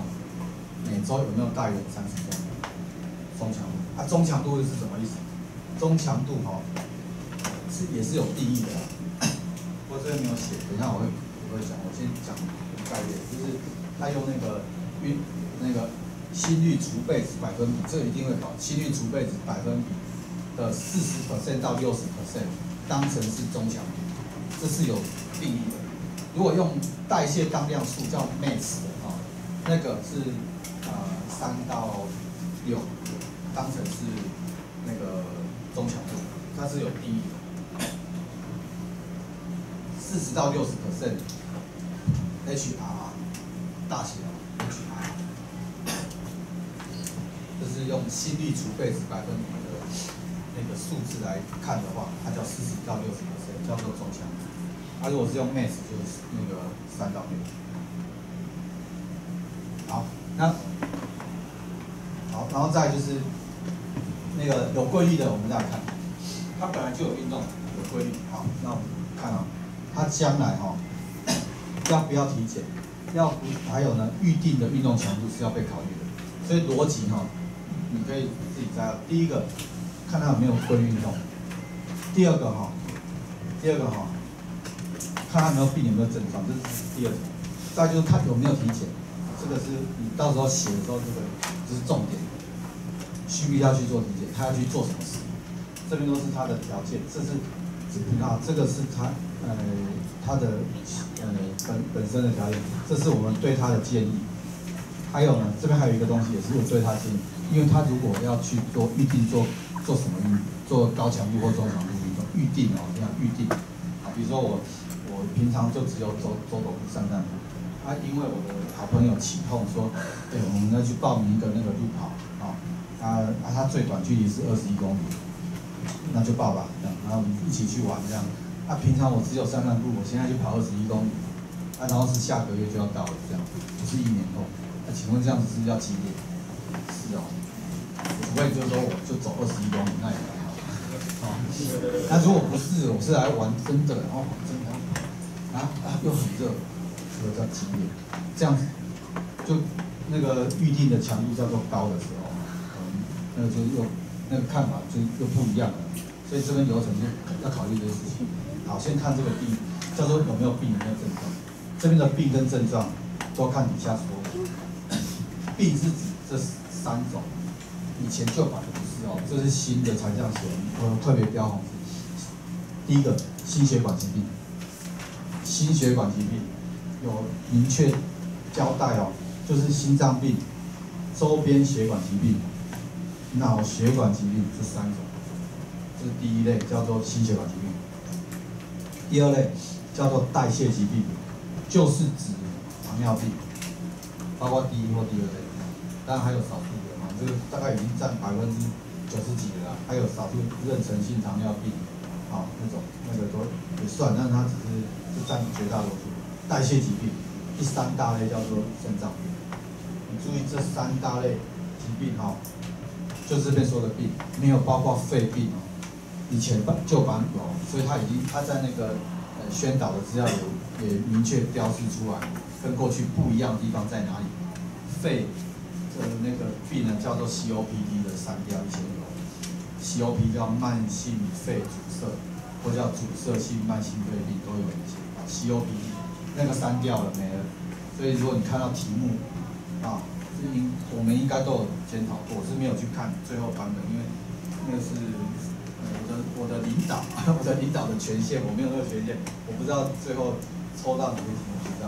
但我有提醒他们说，这个哈、一定要注意，有些旧的题目上面，所以你们如你们是看考古，就一定有旧的哦，就是一定会有这种肺病的，所以你你要做题目的时候要注意，我们都呃我们应该都有调调整过，所以，但是我们你看我们没有办法去删了，就那那那那都是就是以前的哈、所以已经有大幅度改变的时候，你就要仔细留意。这边宣导就是肺病拿掉，还有这个流程当中就没有所谓的那个叫做什么危险分层。你如果看到危险分层的题目，可以略过不看。危险分层的意思是说，根据等一下我要讲的危险因子数的数量，比如说两个以上那个啊，两个以上就称为中危险群，它中危险群就有它的运动建议，它这个叫危险分层的判断已经没有了，所以变得很简单，就是这一这一套而已。那危险因子还是存在，但它有它很单纯的使用在判断。心血管危呃心血管疾病的罹患率这样，就是你危险因子数越多，就就越容易中奖，就没有像过去还要经常去个那个变成延伸叫做呃中危险区，然后又有什么什么都没有，那就简单很多。好，病是这个病，还有呢症状，症状就是这些病的相关的身体不不舒适的一些感觉。所以在在后面这边有写到这些啊，这你自己看，就是一堆负面的感觉，就很不舒服啊，哪里哪里不舒服这样。好，这些通通叫做症状。好，这个哈，有这些症状比较重要。有病，就应该说有症状不代表没有病，可能有，你只是还没有去看医生，医生没有空，还是挂不到号，那 对很多原因，反正哦。如果有症状，也要被列入叫做这个考量的一种。好，我们看啊，有呃有规律运动习惯，没有病没有症状就后悔，对吧？哈，所以这是一百分的。有规律运动，很健康，没有病没有症状，那就不用体检，那你就继续你原来中或高强度运动这样，表示你没有问题，一百分。再来是有规律运动的人呢，有病，但是没有症状。这个有病呢，能是有稳定控制的，所以他没有症状。好，那如果哈，他做中强度的话，运动哈不用体检。如果哈要做高强度运动的话，建议体检。他这个目的是要确认最近一年之内哈症状哈这个没有改变，所以让医生来帮你协助。判断，好，这样再去做那个中或高中强度运动，然后再循序渐进。所以这个叫做有病没有症状。如果要这举例子，就是像我刚刚讲的，如果我我预预定要做的运动啊，假设我有糖尿病啊，我没有症状，我我吃药诶按时规律吃药诶，然后我平常就有运动，这种很多啊。那个或者是有高血压，或者吃药跑。那中长度，我我要去，我平常跑五公里，我现在去比赛跑一个十几二十公里，也也还好。我每天跑，啊，我有高强度这样子，哎，那那是没有问题的。但如果我现在跑一个马拉松，如果我本来跑五公里要变四十二，是有点多了，啊，那就应该还是先去体检，然后再评估看看，那也许。如果时间够长，就把那个运动机要排出来，慢慢循序渐进推到，呃，有可能可以完成的时候。还有刚刚跟我讲那个马拉松死掉的统计哦，大概都是最后一里路没有完成，就是最后一里，就是一点六公里，就是一一一英里内呢，所有死的人去统计，大概大概有，哎，我看了一下，百分之九十五死在那最后一点六对。完完成不了最后一步，所以哈，如果有这种问题的，我们最后一步慢一点，不要太急啊。好，九十五个肾哦，很高哦，所以如果能够，我觉得如果是这样，对不对哈？AED 应该要加强放在最后，不要一点六，最后两三公里，要加强放在那边做训练。办过马拉松啊，我让那个星光我们去租 AED，啊，他们说他们愿意赞助，然后好高兴，然后我们就派那个派职工骑机车巡回，我刚刚我是我负责医疗，就是诶三公里就巡回，骑机车巡回，因为是封双向马路啊，开十一线，那边很漂亮很好，你去看没有？东海岸马拉松，就有史以来办过空前绝后，不可能再办。封双向哎，封了二十一公里，就是来回嘛，就四十二。封到那个快要到八旗瞭望台，从海洋公园那里，你去过吗？双向全部封起来，你看过跑马拉松封双向的吗？很很少，都维持单向通车的。我们双向全封，所以现场气炸了。再不给你们办，没有，这个没有，那就刚好巧合，然后就后来就没有没有办。不过那个办的很爽，啊我然后为为了安全，就是派那个巡回，所以以后像这个统计，我那时候我知道，看到哇，原来是最后一高风险，那就那边应该是重重点加强。好，在第三条就是有症状，那还得了对不对？有症状，那好险他遇到你，你是他的贵人，你就叫他暂停运动，先去体检再说。啊，真的吧？都很合乎我们的判断流程，那个逻辑思考逻辑。好，第二个叫不规律运动，这个就稍微呃这种就不太健康，所以这边后面考虑的事情都是安全第一，而且很简单，更简单，不没有规律运动，那没有病没有症状，可以起立稳体赫对吧？那没关系，那你很好啊哈，这个没有必要体检，反正也没有病没有症状，那你就慢慢开始运动吧，好，那从轻至中强度慢慢循序渐进。那在你本来没有运动，但是是有病，或者是叫做有症状，这两个哈、都是不好的，又没有运动，你现在要教他去做运动，所以他怎么样都应该要先去，再说，好，所以这个超简单就讲完，以前这个就很复杂。而像刚才说的这些 I T 的高强度，当然不适合了，他只能学动作而已。然后他他如果体检完，也是一样，他从我们学那种高强度的，不管是主力或者是那种 HIIT，通通都先先学正确动作开始。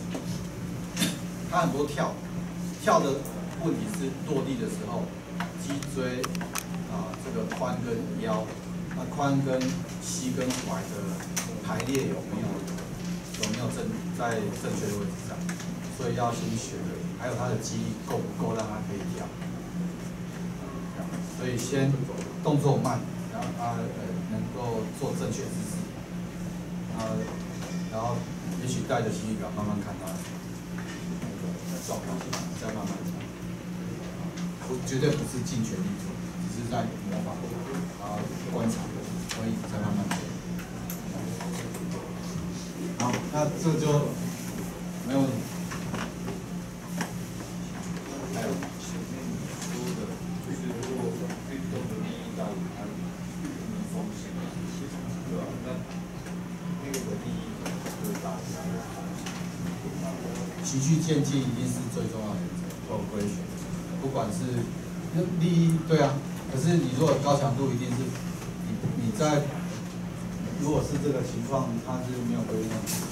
在这种情况之下，你要去做高强度，利那个风险一定大于利益很多。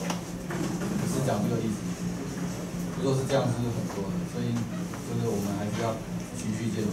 它循序渐进的开始的基础点，就是要看他的状况来判断。好，这样啊。我如果是考试的话，我们给的题目都是那种很明确，只考原则嘛哈，所以给你的条件不会是复复杂的。但你真正在实际的周遭遇到的都是复杂的，跟考试不会考这种为难你，哦，那个不会。但你就是有把这些通了，你搞清楚了，就一定会的。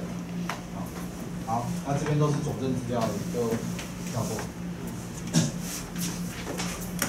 好，再来看这个危险因子。好，来讲一下啊。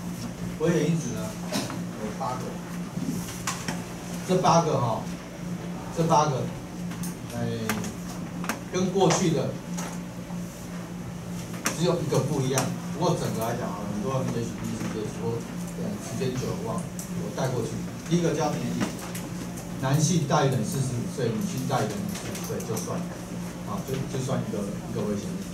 我这边都有特别强调那个叫做大于等于，或那个符号都不要用文字，都用那个符号来给你看，就是比较明确，不会搞搞就也比较好记，不会出错。第二个，家族病史，父亲或其他男性等亲，是指兄弟或儿子，这你要注意哦。这个有时候考试他就要考你知道是你等亲，这边都是生物的啊，生物的就是兄弟或儿子这样，就写的就是这个，按其他就不是了。好，uncle 啊那种不是了，就是叔叔伯伯都是。小于五十五岁以前发生心肌梗塞、冠状动脉重建或猝死啊，母亲或其他女性的亲姐妹、女儿，在六十五岁小于六十五岁的时候呢发生上述情况。啊，所以这个好，好像很好记，你看都这是差五岁，那这边呢同一个性别是差十岁，所以这个都是很好那个可以去记啊，我的倍数。第三个条件吸烟，目前有抽烟或是戒烟好，小于等于六个月，或是暴露在吸烟的环境中，吸烟。第四个做事生活形态啊，大于等于三个月没有参加每周大于等于三天啊，这个每天大于等于三十分钟中强运动员，就刚刚讲的，对不对？做事生活形态好。第五个 BMI，BMI 哈，大于等于二十七以上，这是肥胖哦。过重，过重不算哦。如果他是肥胖才算，对不对。啊，或者是男性腰围大于等于九十，女性大于等于八十。好，这边哈、我们有讨论过啊、跟好几位老师讨论过。这里哈、是因为我这边写注意，注意哈、先跳过来一下好了。注意在这里，看这里哈、这边我有写哈、我们刚刚是写大于等于九十，大于等于八十，但我那个我们讨论过，我也去求证。他说，因为国建提供的资料是这个，好，我去查国建署到底给什么，还有呢，因为我看到的原始资料不是这样，因为原始资料是这个，你看啊，这个是哪里来的？是世界卫生组织的一个报告书，研究成果报告书。好，那它的报告书里面哈，你来看，这边有写。华人男性大于九十，女性大于八十，就是超标的标。有没有等号？没有。当当我们奇怪国建署为什么有？我去看它国建署，原来它是一个一个那个网站上面有一个卡通图，啊，卡通图上面旁边写的文字，那个不是正式公告，正式公告要文绉绉的，要有点官样，它那不是，它是一个卡通图，所以它哪叫公告？那我写信给署长。他没有理我，我写信给他的说，请可不可以请，因为哎、我跟他是好朋友，国建署王英伟主任，但我都叫王，他是慈济嘉义科主任，我都找他看病的啊，然后我就说，哎、主任那个，哎、你可不可以找承办人厘清一下啊？我我也把这资料都给他，呃，我们因为我们有点困扰啊，那个等号的问题，觉得他应该很。觉得你是我们真是无聊，你们会差个等号差那么多。可是我跟你讲，万一他刚好是九十，我们考试呢，他刚好九十，请问要怎么办？你是要写还是不写？可是照照这个是没有的，是大于九十，你是不算。但照如果是照他的网站是有的，是算的，有点讨厌，所以我们都不会出九十啊，不会出这个刚好那边让你为难的啊，不会，或者是哈。我我刚才说，如果你老师们真的要出，你就写清楚依照什么标准这样子。啊，如果是我，我当然会写这个的啊，但我没有出这一台。那你知道说有这样的区别啊？差个等号，还有他画个卡通图，还有被他搞死掉了，对。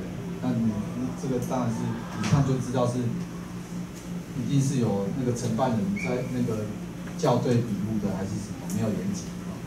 好，就这样跟各位交代。那你看啊，另外。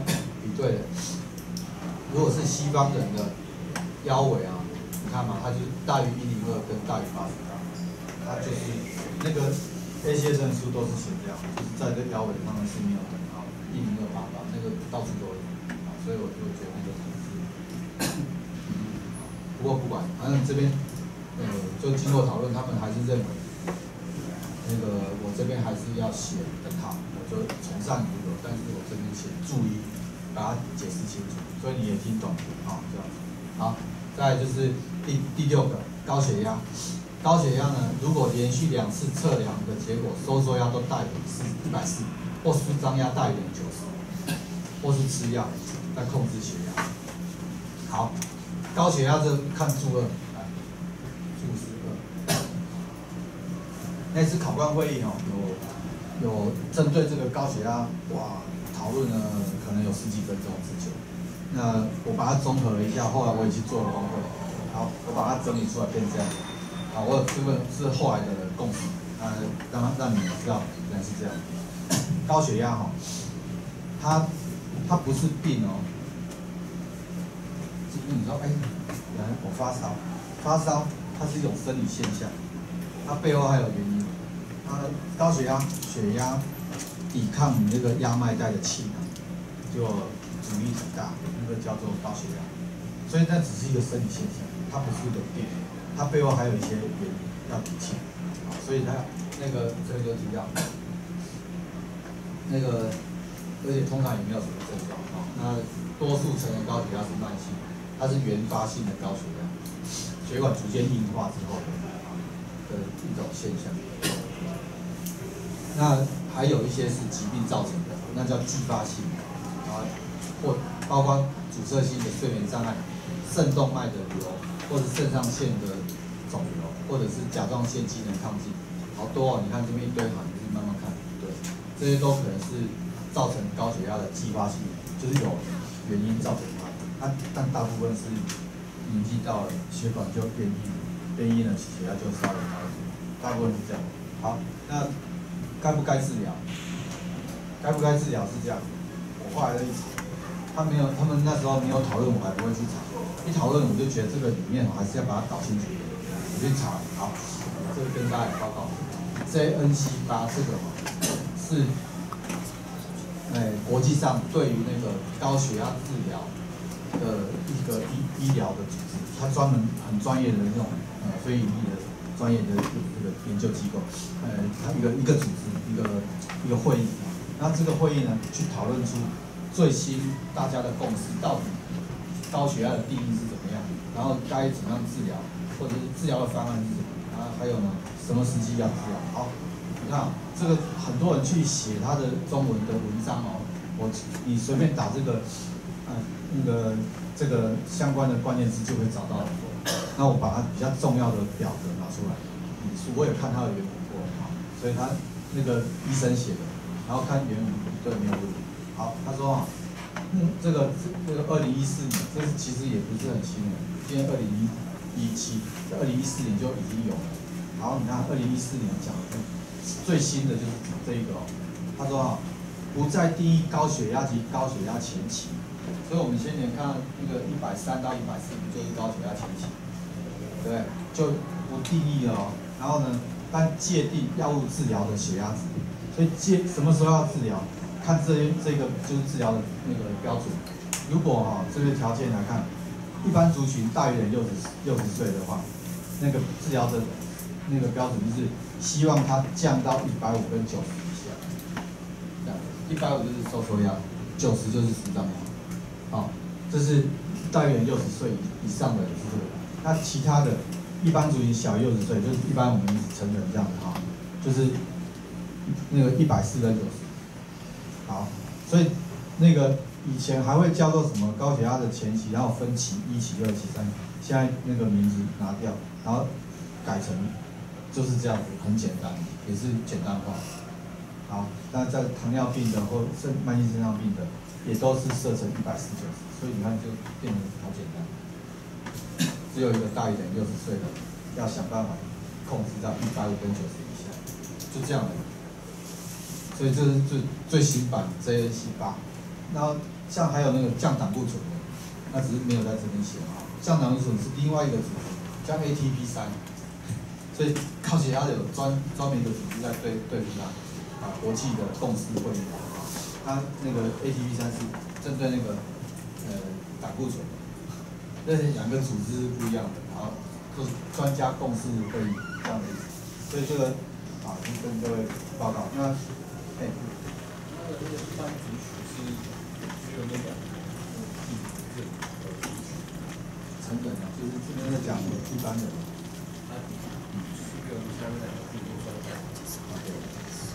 这个这两个病特别独立出来，它也是这样，它就特特别写出来，因为可能以前是这样，所以才特别标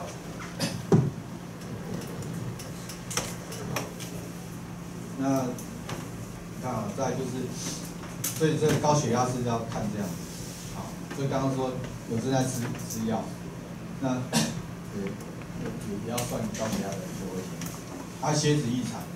血脂异常啊，这个跟过去是一样一致的。呃，低密度脂蛋白胆固醇大于等于一百三，啊，这个这个是不好的，这是，哎，我们肝脏制造的，它跟后面这个高密度脂蛋白胆固醇同样都是肝脏制造的。那肝脏制造这个东西哈，它有差异，这个哦，这个是从肝脏往那个周边组织移动的，它如果是这个 高密度脂蛋白。它刚好相反，它有点我把它比喻成这个清道夫，它很像清道夫，它就是在收资源回收的，它把那个用不完的周边累积的那些，或者是在运送过程的这个低密度脂蛋白的胆固醇就捞过来，然后捞捞过来以后就把它往肝脏移动去，呃送回去再重新组装，所以它是资源回收车，它是资源回收清道夫，它这个哈，这个好像比如说你像那个宅配。宅配的车子，然后到处就是从那个呃接接收到货物之后，就往那个呃这个家家户户去运送。它这个太多的时候啊，就有问题了，因为可能太多就那个变成垃圾堆放在路边嘛，对不对？就知道阻塞。那这个呢，反正这个多的时候好，这多的话高密度只要一多，它就可以把这些堆积的东西再把它往那个中央呃回收厂移动拿回去，再重新运用。所以这个是好的，这个坏的。它个别有个别指标，你看这个是一百三，这是不到四十也不行。所以这是坏人，这是好人。坏人很多的时候，秩序就乱；好人太少也不行，对不对？是相对的嘛。好，那还有一种是，还有一个指标叫描写，这是另外的看法，这叫比例。这个好坏人跟好人的比例，啊，如果超过四比一。这样也不行，就是这个代表比例比例太高了，就是坏人还是相对太多。好，所以这个也有，这这这边有没有情况？啊，或者是目前正在吃降血脂药。如如果只有测总胆固醇，因为这这边哈很多人不太懂，所以我解释一下。如果你测的是低密度脂蛋白胆固醇，就看它；如果两个都有测，还是看它哦。这两个都有，还是看这个，因为有可能这个正常，这个异常，但是看它。好，啊，如果这个。这个正常，这个异常，还是看它正常。就为什么？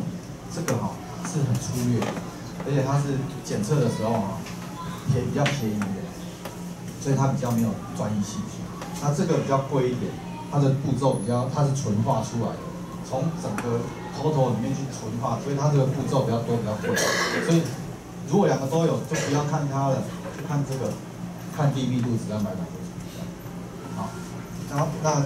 那如果没有这个 LDL-C 才去看总胆固醇，如果没有，他才去看，那它的指标是大于等于两百的。话，那如如果这三个都达标，你还是只有一项叫做血脂异常，这个是叫做血脂异常，再分这些内容，只要有一个有，它就算有，这样子。好，好，在糖尿病，糖尿病这个好跟过去不一样，以前的标准哈。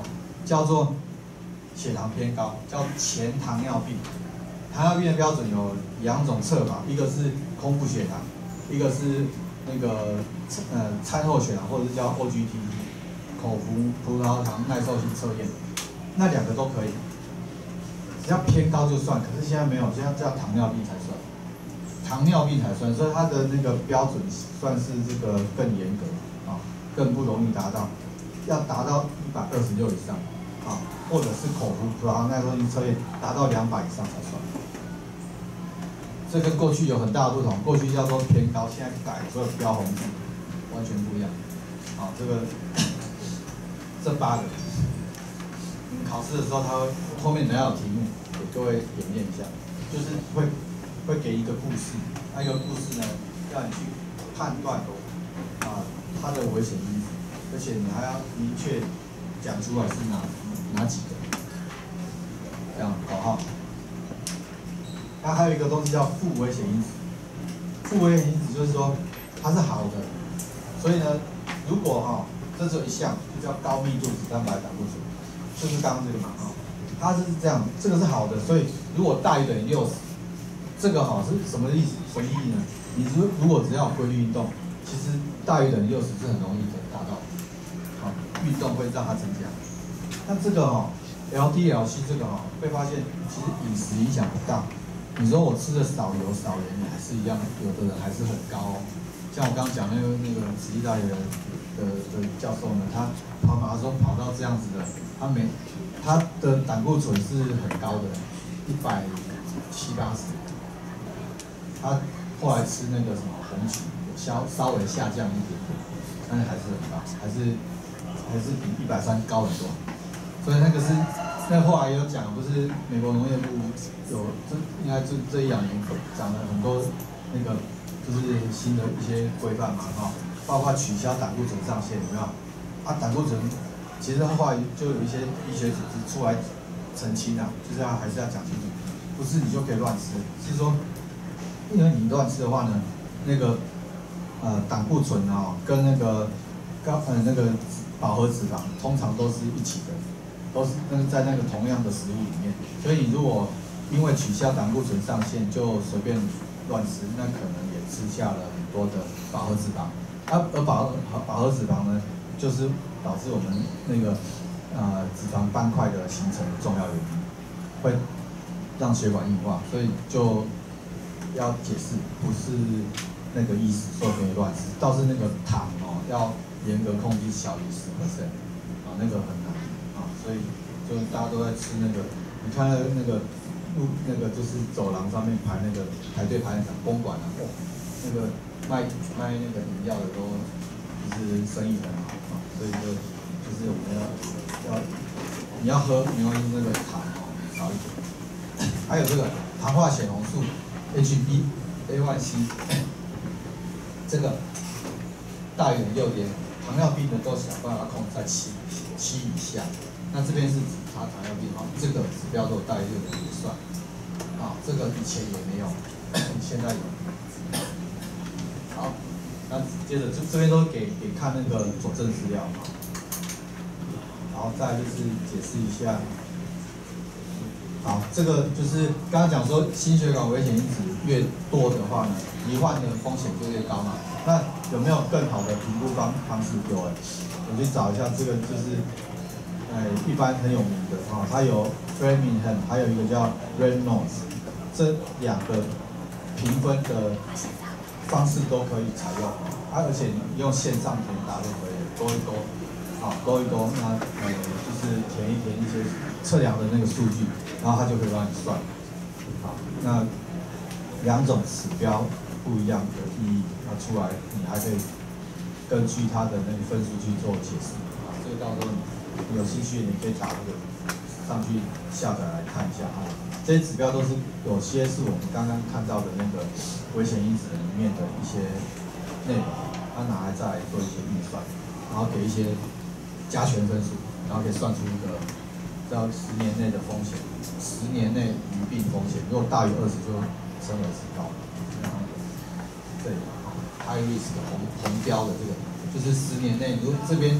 去运算得到的数字，如果是大于二十的话，意思是说十年内得到冠心病危险危险几率算高的，所以那个这样子会有一个具体的那个数字出来。刚刚只是说越多就越高嘛，那到底有多高不知道，这边就有具体可以算出来的方法，但课本没有，好，这是另外的。好，再就是再谈这个，然后再看举范例啊。运动处方的原则。那我们考试的时候啊，就是那个案例给你的时候，还会有做体适能检测，除了那个健康指标，为什么那些健康检测，还会有体适能检测。那体适能检测这次又跟以前不一样，只是我的建议就是希望把那个常模表，把它做一点修正。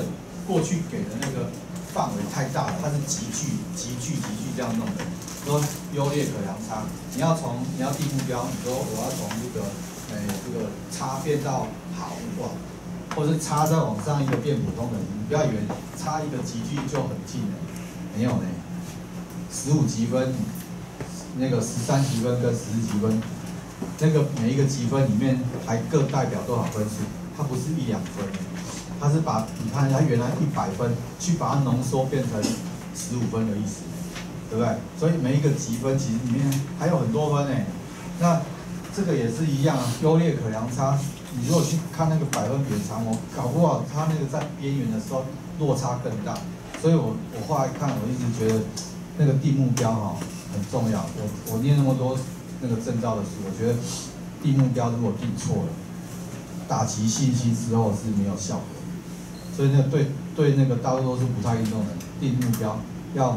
叫他们叫 SMART Goal，要专一性要高，要具体，要可测量，在时间范围内要可达成，这样子这么多混合在一起才有可能让他累积他的成就感，他让他慢慢才有办法变成习惯，然后持续这样，你才会看到成果。所以那个行为改变策略很重要，不能够随便乱定。那我们考试归考，但是有时候那至少在呃形式上要让他知道说。短短期也许在一个月内他办得到的目标要定出来，所以其实大家写起来是比较简单的啦。以前会没有范围就乱写，他怎么那就你也不敢扣，考官也不敢扣啊。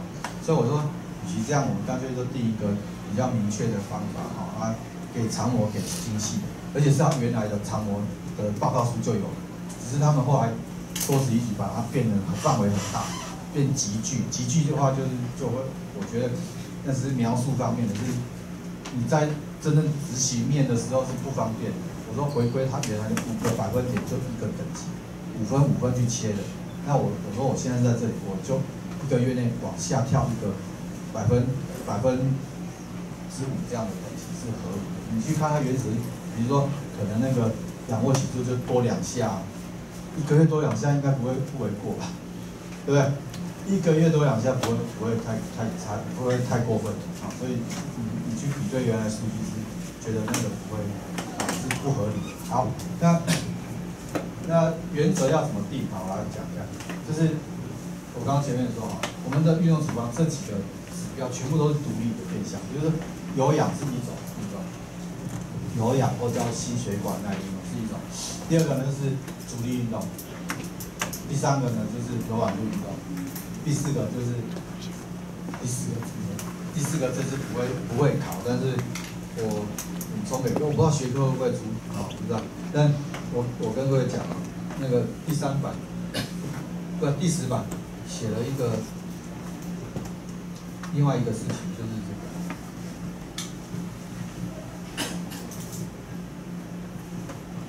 这个，可以，啊，这叫神经运动。神经运动，什么是神经运动？就是平衡、敏捷、协调、步态这些叫做叫做叫做神经运动。这是它是第十版哦，特别独立出来。这是它现目前第十版的书本哦，都把它写成这种格式，就是 F I T T V P 这个，好，你看还有 V P，F I T T V P 什么意思？就是频率、强度、时间。类型、运动量还有渐进性，但是考试哦，把那个这是金老师的贡献，他把他希望各位把那个整体性涵盖了啊训练量或者是渐进性啊，或者是特殊挑战，通通写在一起叫做整体性，不会需要大家再去单独写，因为哈其实也有道理，因为不是所有的东西都一定有那个。你看，比如说神经运动，没有所谓的运动量，这个是没有，渐进性这都没有，所以不要看那个运动的特性来描述，让柔软度也不会有那个渐进性，那就是紧，呃，到紧的程度，啊，持续时间是是一百的原则而已，好，那累积二到四次就可以，不需要写那个，所以要看状况，所以把它融合起来叫。叫整体性，我觉得很棒。好，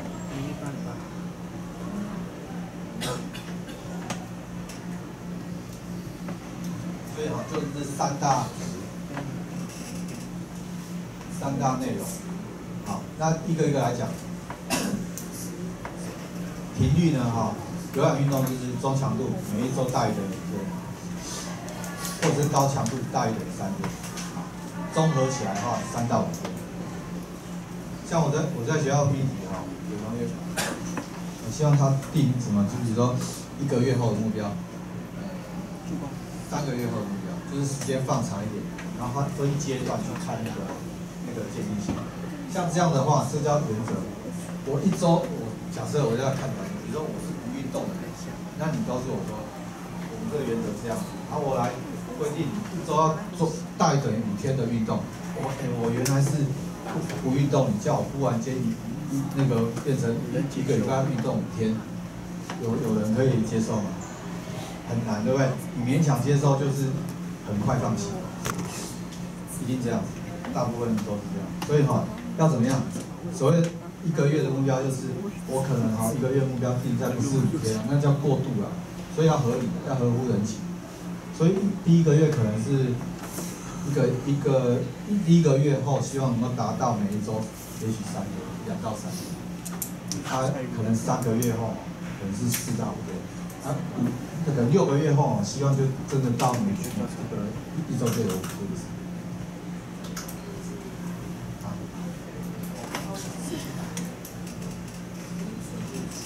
至少三天。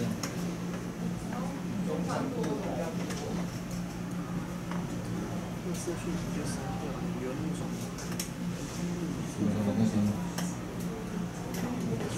三天五要退掉。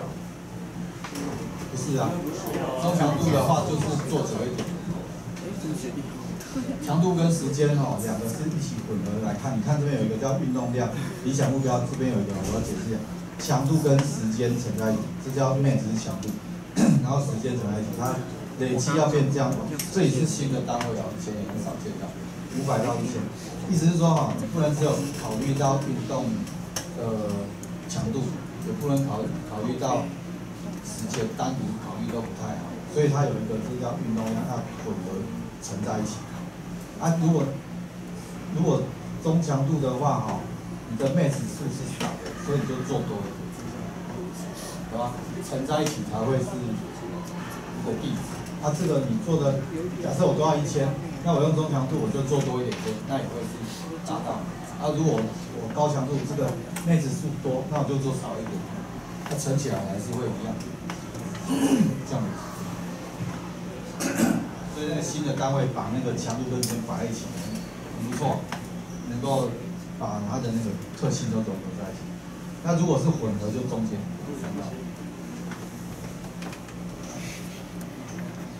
好，那当然这因人而异哈。那个体能比较不好的，就慢慢开始哈。那持续时间也有建议，就大部分就是中强度就三十到六十分钟，高强度就二十到六十分。这些哈，我我要强调那个金老师有提说哈。可能你学的，你有学别的证照，那别的证照如果他有别的讲法，也不是不行，只是这边讲的哈比较保守。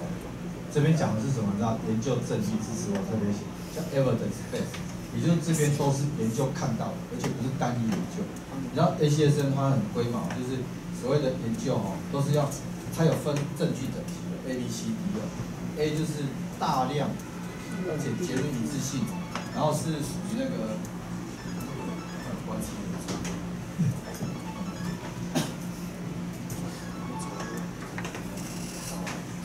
而且是要随机分组，然后混合男女性各种年龄层，哦，那个很难达到，而且要几乎所有的研究的一致性是很高的，这样结论才能叫 A 级的 A 级的结论。那他当他这种 A 级要达到不容易，但是他这个累积了很多的研究去做的 meta analysis 啊，他得到的还有专家学者的讨论综合的，这个叫做。这叫确定一定有效的，好，但你看到的也许是某些证照的那些讲法，如果跟这个有冲突，可能他的你要去考虑，就是他的对象，他的研究对象是可能某一种特殊的族群，比如说运动，运动员可能他就那个强度可能都是超高的，然后他那个什么，呃，可能他他他是高强度可能七天，我随便乱讲，可能就跟这个条件是不符合的。然后你可能那个在讲说，没有我我的那个客户就是这样。订阅这个干嘛？我想我想好，为了一致哈，你就不要刁难考官，你不要去考考官，啊，就是这个原则很明确。那而且你都有附件资料，所以我哦你们在抄我这个没有呀？哦哦对不起，可能他觉得太多了。那这个我会我会放视频的，没关系啊，你们会可以慢慢看慢慢查。那就是这你真的抄抄不完，后面还有好几个。我们时间是到几点？五点二半吗？二十。因为还要看例子，还剩十分钟，还要看例子，所以这边可能等不到，哦，所以抄不完，你就先听一听就好了，哦。啊，然后那个有氧运动哦，一定要有这个特性，就是大肌群、连续性、节奏性，一定要这三个原则，不然就不能叫有氧。然后在运动量刚刚讲要合并那个 MAT 跟分钟乘在一起，然后数值很好记，五百到一千。那运动的形态哈，就是这个也很容易理解的，你自己看就也可以，真的不好的也可以分段累积啊。那最少让你要每一节累计十分钟，当时这个是真的不行的时候才会这样做，体能非常差，不到十分钟也也人会有注意。啊，虽然一般的不是这样的状况，我讲这个。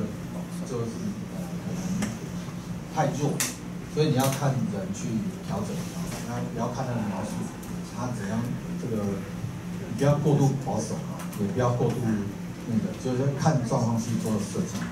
那要一定要有一些依据啊，好在建基这这种描述，你在写中整体性的时候，一定要强调呃那个呃依照四就是呃依照他这个进进步的程度哈。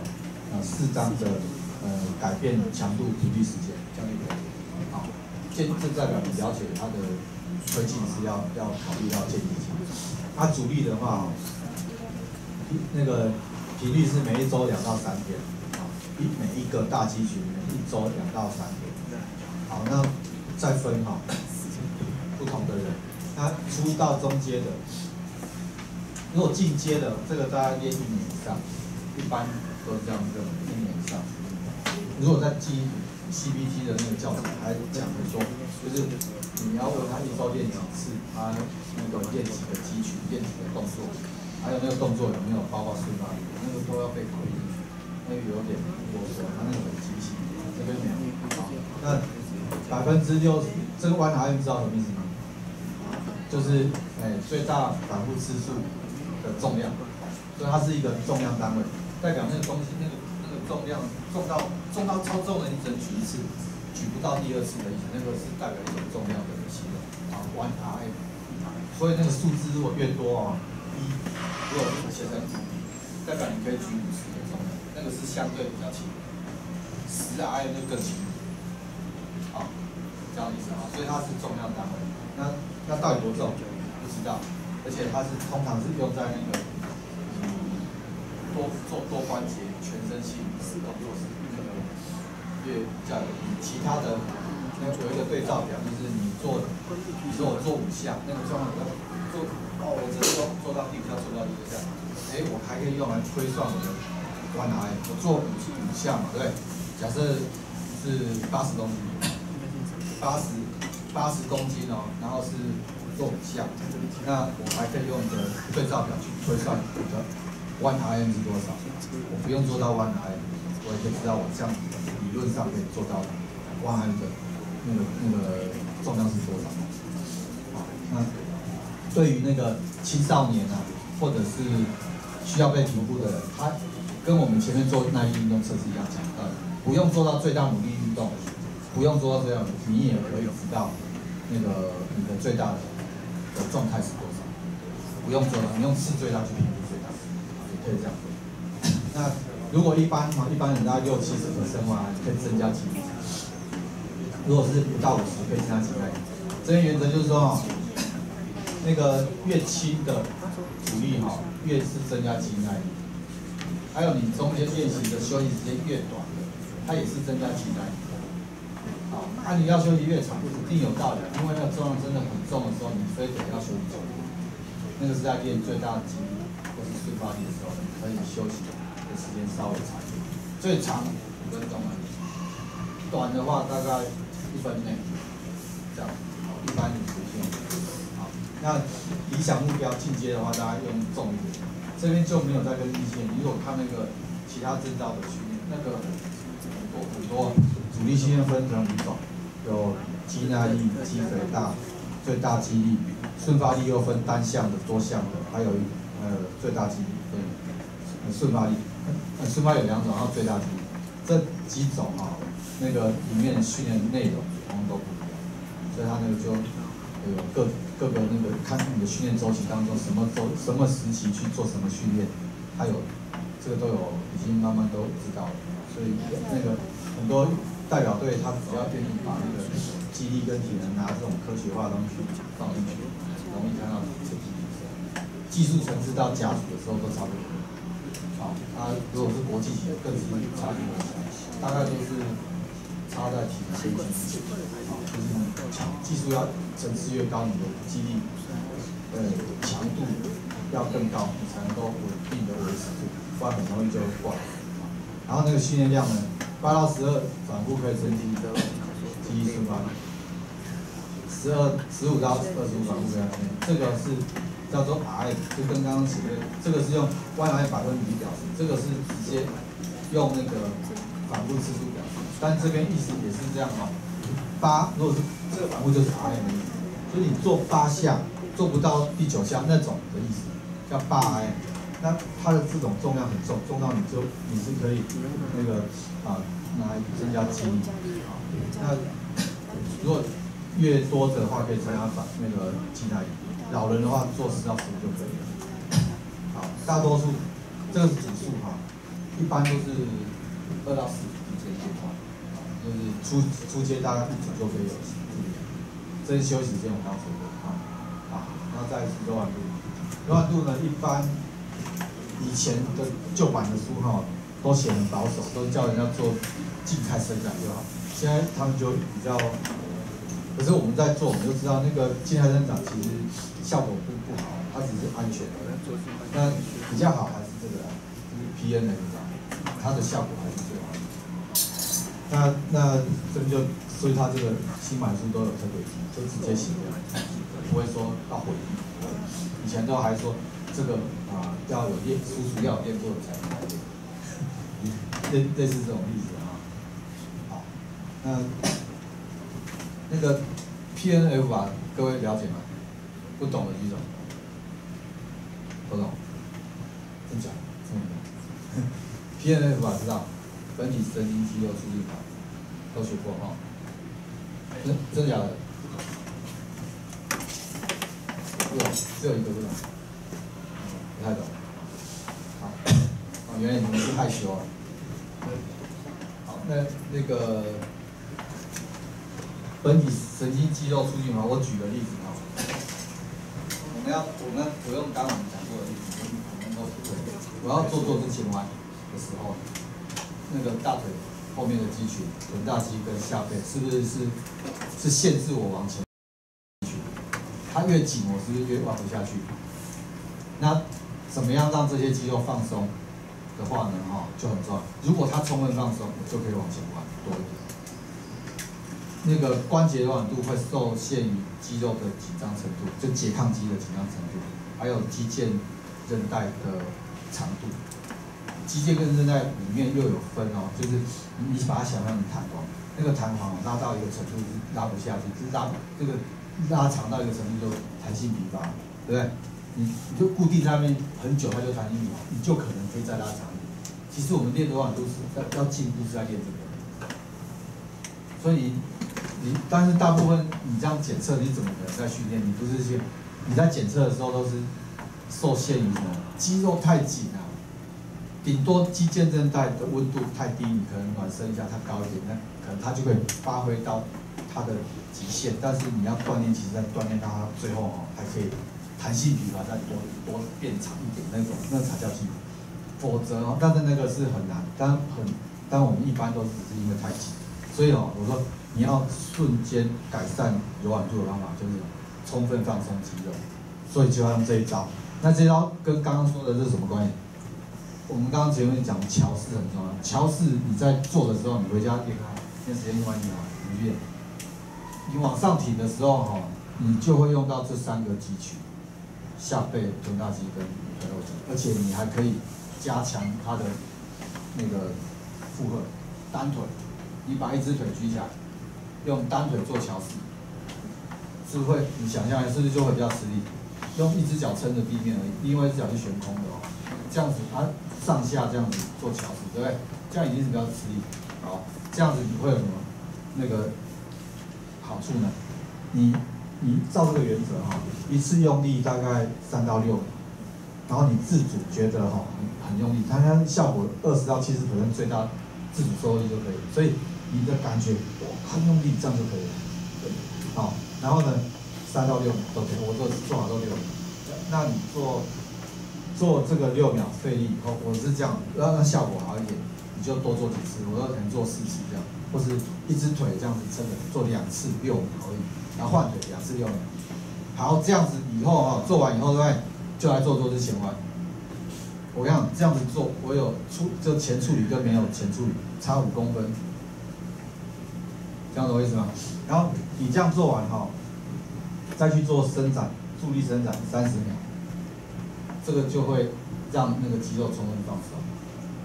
就是你刚这样上提，对不对？那那个这个过程让它用力之后再往前压，压的时候它其实它它就已经在。在那个放松阶段，啊，而是你自己往前压，然后这样子完以后再做测试就好，好很多。我再举个例子，自自己做也可以哦。你看，比如说我现在做外展动作，什么叫做 P N F 啊？肩肩外展，我要两只手后面交叉，两只手两只手在后面这样子做交叉，怎么样子可以做到这样？就是那个篮球一样。说你说你不游，他是游泳选手，他要不离太难。好，这样他因为他做久了，他我给你台阶下。你看哈，我举一个例子哈，就是什么什么样子做，这样他是已经紧了，我刚刚做一次，他应该就可以交叉。你看啊，他这样是紧，对不对？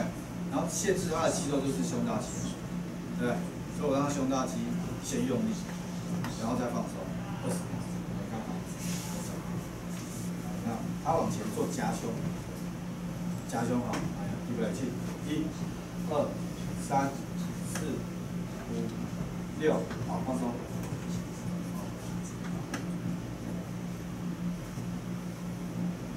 我也没有特别？我就直接紧抬起，这样已经已经碰到了，好，已经手掌交叉。他这个好，这样我们就等二十，好，而且二十，二十呃十到三十，不用二十。啊，这样子在假设这样二十，好，那时间完就可以。好，再第二次，预备起，一、二、用力，三、四、五、六，好，放松。好，然后再等他一下，就交叉了。这这叫 P 了，这比你那个在做静态的是不是还要更有效率？如果上面死撑一这边弄，它还还会受伤。因为它那个肌肉没有放松，那边硬拉肌肉会受伤，所以用这个哈很有效。所以这个以前就蛮不敢写，都写很高，现在你看写，我们早就在用，它就觉得很好用。这物理治疗师超会用，会帮病人做放松，然后再去做一些，它会做前面的步骤。好，这就是这边讲的那个伸展。好，那动态伸展也很好，动态伸展是模拟将来要做的结构运动去做的动作模拟。啊，那个每个伸展动作就是二到十次吧。好，那如果你把肌肉温度增加之后再去做更有效果，所以你可以是热敷也是有帮助的。啊，只是你要去拿热敷片的。好，那好，我们来看，因为刚店里有很多那个基础，课现在应该有讲。有一个例子这样子，你考试的时候会拿到一个个案，类似这样一个故小故事啊。这故事呢，就是，哎，啊，有男主角啊。周先生，他年龄五十五岁，体重九十五公斤，身高一百七十二公分，他是退休的工人，平日呢有喝酒的习惯，喝酒没有影响危险，好，他可以喝，尽情的喝，他只是会变胖而已。好，那没有吸烟习惯，偶尔会喝两杯，好，每天到公园骑车来回一小时，这边其实暗示你他是有运动习惯的，好。那经咨询之后，跟他哥在五十三岁以前，啊，因为心脏病猝死。那五十三岁以前，这暗示他一等于在五十五岁以前，对男性。好，那这就有家族病史。周先生要三个月后参加单车环岛活动，他每天只是骑一小时。单车环岛，环岛是一千公里，一千公里每一天要骑一一两百，一两百。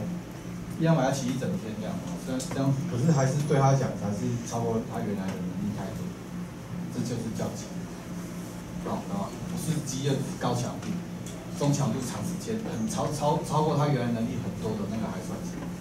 好，那请教哈，他想要请一个教练来训练他体能，那他已经有糖尿病了，有病，对，然后诶控制很好，没有症状，那他的其他的生理生化指标提示检测都。下表，好看。他说血压、心跳是一百一百五八十，有没有高血压？有。好，心跳是没有影响，没有没有列入指标。血液生化值、空腹血糖一百三，有没有糖尿病？有。有糖尿病。好，总胆固醇二二零，他只有给一项，那就看他了，没办法。大于两百，对不对？大于两百，所以他那个血脂低查，HDL 六十五，因为他还是有运动，所以他高一点点，还这个可以可以那个扣扣掉一个危险因子。如果要算总数的时候，它可以拿来扣。好，那体适能检测结果，BMI 它帮你算，它未必会帮你算，所以你要会算。好，要复习一下那个国中数学。应该有计算机啊。BMI 哈，体重除以身高公尺，对，好，好，坐姿前弯二十，这都是体适能检测资料。好，那你看，那这个题目啊，它会要你写下并告知运动计划的细部内容。哦，根据那些人跟你讲，做运动筛查呃的那结果去做体检跟运动强度建议。啊这是我们刚刚判断流程内容。第二个，心血管危危险因子有几个啊？分别有分别分别是什么？没有。然后这个新版的教室我特别强，如果哈没有列出或测量的，都也要算一个，不能睁着眼，不能闭着眼就说没有这样不行。没有测量要算一个。好。那八个你一定要记得，你只是那八个。如果列出来，他没有列的，也要算一下。因为他没有讲，他没有讲对，哎，要他没有讲，可能就是这边说的没有列出或没有测，不要算的。这样，这新版特别强调，就是可能它漏了，要保守一点，所以还要算，还是要算。这是规范。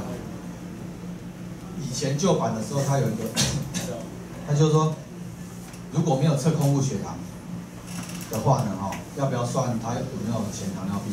要看一个叫做，也不能说就没有没有测就不算，要看他有没有肥胖，要还是要猜他有没有？那怎么猜？他有原则，有有肥胖的话呢，他就要算有；如果没有肥胖，那就算没有。就是没有测血糖之下去，还有一种，他有没有肥胖？因为有肥胖，血糖通常就是偏高，但现在是没有这个，它叫做糖尿病，所以肥胖未必一定有糖偏高，也许有，但糖尿病未必，它就没有这个。好，好，再就写下目前体适能检测结果的等级跟目标等级，看长模表。这边我提醒，哎，我先跳过来看一下，长模表长这样。拿到的考试就是长这样，好，然后他这个写这个 P 五就是百分等级，就 PR 值五啊，百分之，就第五个百分点的意思。然后这个就是第九十五个百分点，所以越往右边越越高啊，数值越高。但数值越高要看什么指标？像这个叫做 BMI，越高是越不好的，所以不一定是越好。哦，要看是什么那个指标，还有它的意义。对，过去呢，它就是只有告诉它的长模以前的版本是过期，啊，就是只有上面的急剧的描述，这个这个这个。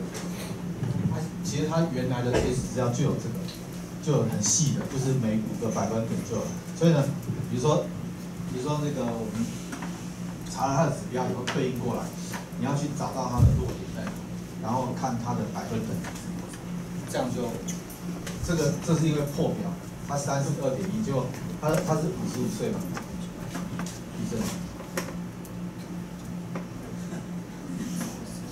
我偶尔上班，这个莲我没有常在地震，地震很习惯，只是确认一下哦，没有影响到你动。好，这五十五岁这样对过来啊，对对对对吧？啊，他那个三十二点，这里摇太久，啊是的，然后错觉。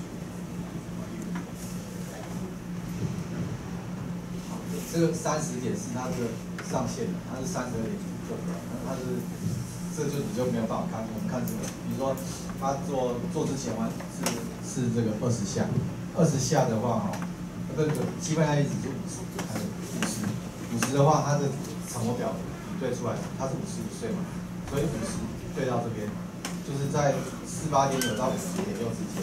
那它是这样，不到那个指标哈，要找不到的那个就是。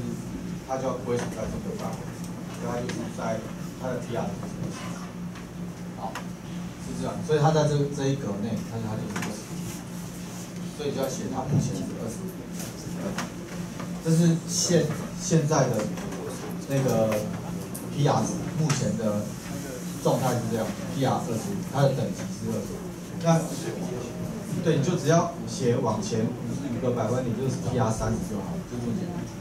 所以这你只要找到的位置，啊，你就往他前一个斜度，就超简单，你不用。我的意思是说哈，你看我这故意写这样在这边，对不对？你如果看这个集距，它叫稍差，你说我目标定在适当，那如果是这里呢？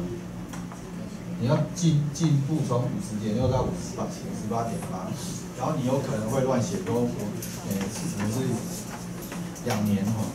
两年真的太久了，啊，都忘记有这件事情了，哎，所以就不要，我们觉得要写明确一点啊，短程目标最好了。我要训练大家怎么样子，那个建立短程目标，可达成 SMART 够。好，那这边就是这种原理。好，那我们来看它的细节啊，就是还有啊，运动计划怎么写？内容要包含包含啊，H I 诶 F I T T 的编排原则，就是刚刚讲的，还有一道问题性，包含训练量、形态、建议题写在一起。好，好，那他这个人的状况是叫做有规律运动嘛，对不对？好，然后他有糖尿病没有症状，是属于这个这个 trait 里面，然后他是要去做环岛，所以属于高强度运动，那他应该先去体检。所以你要写，要不要建议体检一下？就这样，对，很很明确的啦，我们不会说那种模棱两可，就是照着逻辑去判断的。好，然后再就是考核要点会有这样的描述，就有没有规律运动啊？有，有没有心血管疾病？有，糖尿病？有没有症状？有没有体检必要性？有，建议运动强度，继续做动强度，啊，循序渐进。好，那接下来提出危险因子考量，正危险因子的六是哪些？负危险因子的有有有几个？是什么？好，这样可以哈，就都很明确的。然后那个运动计划也是会那个这种格式给。好，那目前百分等一些目标，你看都是差五而已。你只要找到现在是什么，那下一个就加五。然后频率、强度、时间就是艺术了，就是艺术了，要合理的。那就根据我们前面写的那些处方原则，你要背一背，你才能写得出来。处方原则不会给你，但是你要记得脑袋里面的东西，你的你的料，你的你的内容，然后再拿来这边做应用。这样，啊，这样了解好，要记得是那些处方原则。那要合理，所以这边其实也呃，除非你是明显违反原则呀，不然不，其实我是觉得不容易错啊。你只要写在它范围内都对，不是让你去硬背，而是你要建立一个合理的那个运动范围。你你看目标等要到三十，你要想这推进五个百分点，这边的内容要怎么样才能够达到？好，那嗯然后这个就是很多例子啊，你要，因为他要他骑车对不对？他要骑车，所以你配合给他练的主力运动，好，要考虑到骑车的特性，好，然后然后呢，他是肌耐力，对不对？所以你设计的那个主力运动要偏肌耐力。还有呢，他的原来的弱点，优点要维持，弱点要加强。所以他那个前面讲的那个坐姿前弯，那个是前提，其实很有时候是看他才十五是超烂，所以要这个核心肌群要加强。那这种你就不能说，你就就明显违反你的，不能就说我就只有加强说这个腹肌肌耐，不能就就不能这个，这就是观念就不对。核心肌群是前面不要管，后面要管。躯干里面的东西都要管，不能就管管前面。你前面练得很好之后，那你就变成骨盆后倾，一样下背痛。啊，所以那要要顾前要顾后，顾前也要顾后，这样的意思啊。那所以这就举例要针对这个来写。好，那柔软度比较没有什么变化，这个是死的。所以有一些东西是可能要设计过，就是柔软度比较没有。除非他那个，他是维持就好了，你就写一般原则。这两个就要根据他的目标干嘛去做调整。好，所以这个这个这个都有放在 YouTube 哦，这个 U 那个影片是有的，啊，没有没有设什么限制，谁都跑上去，你都知道了。好，他他他们也会主动记得。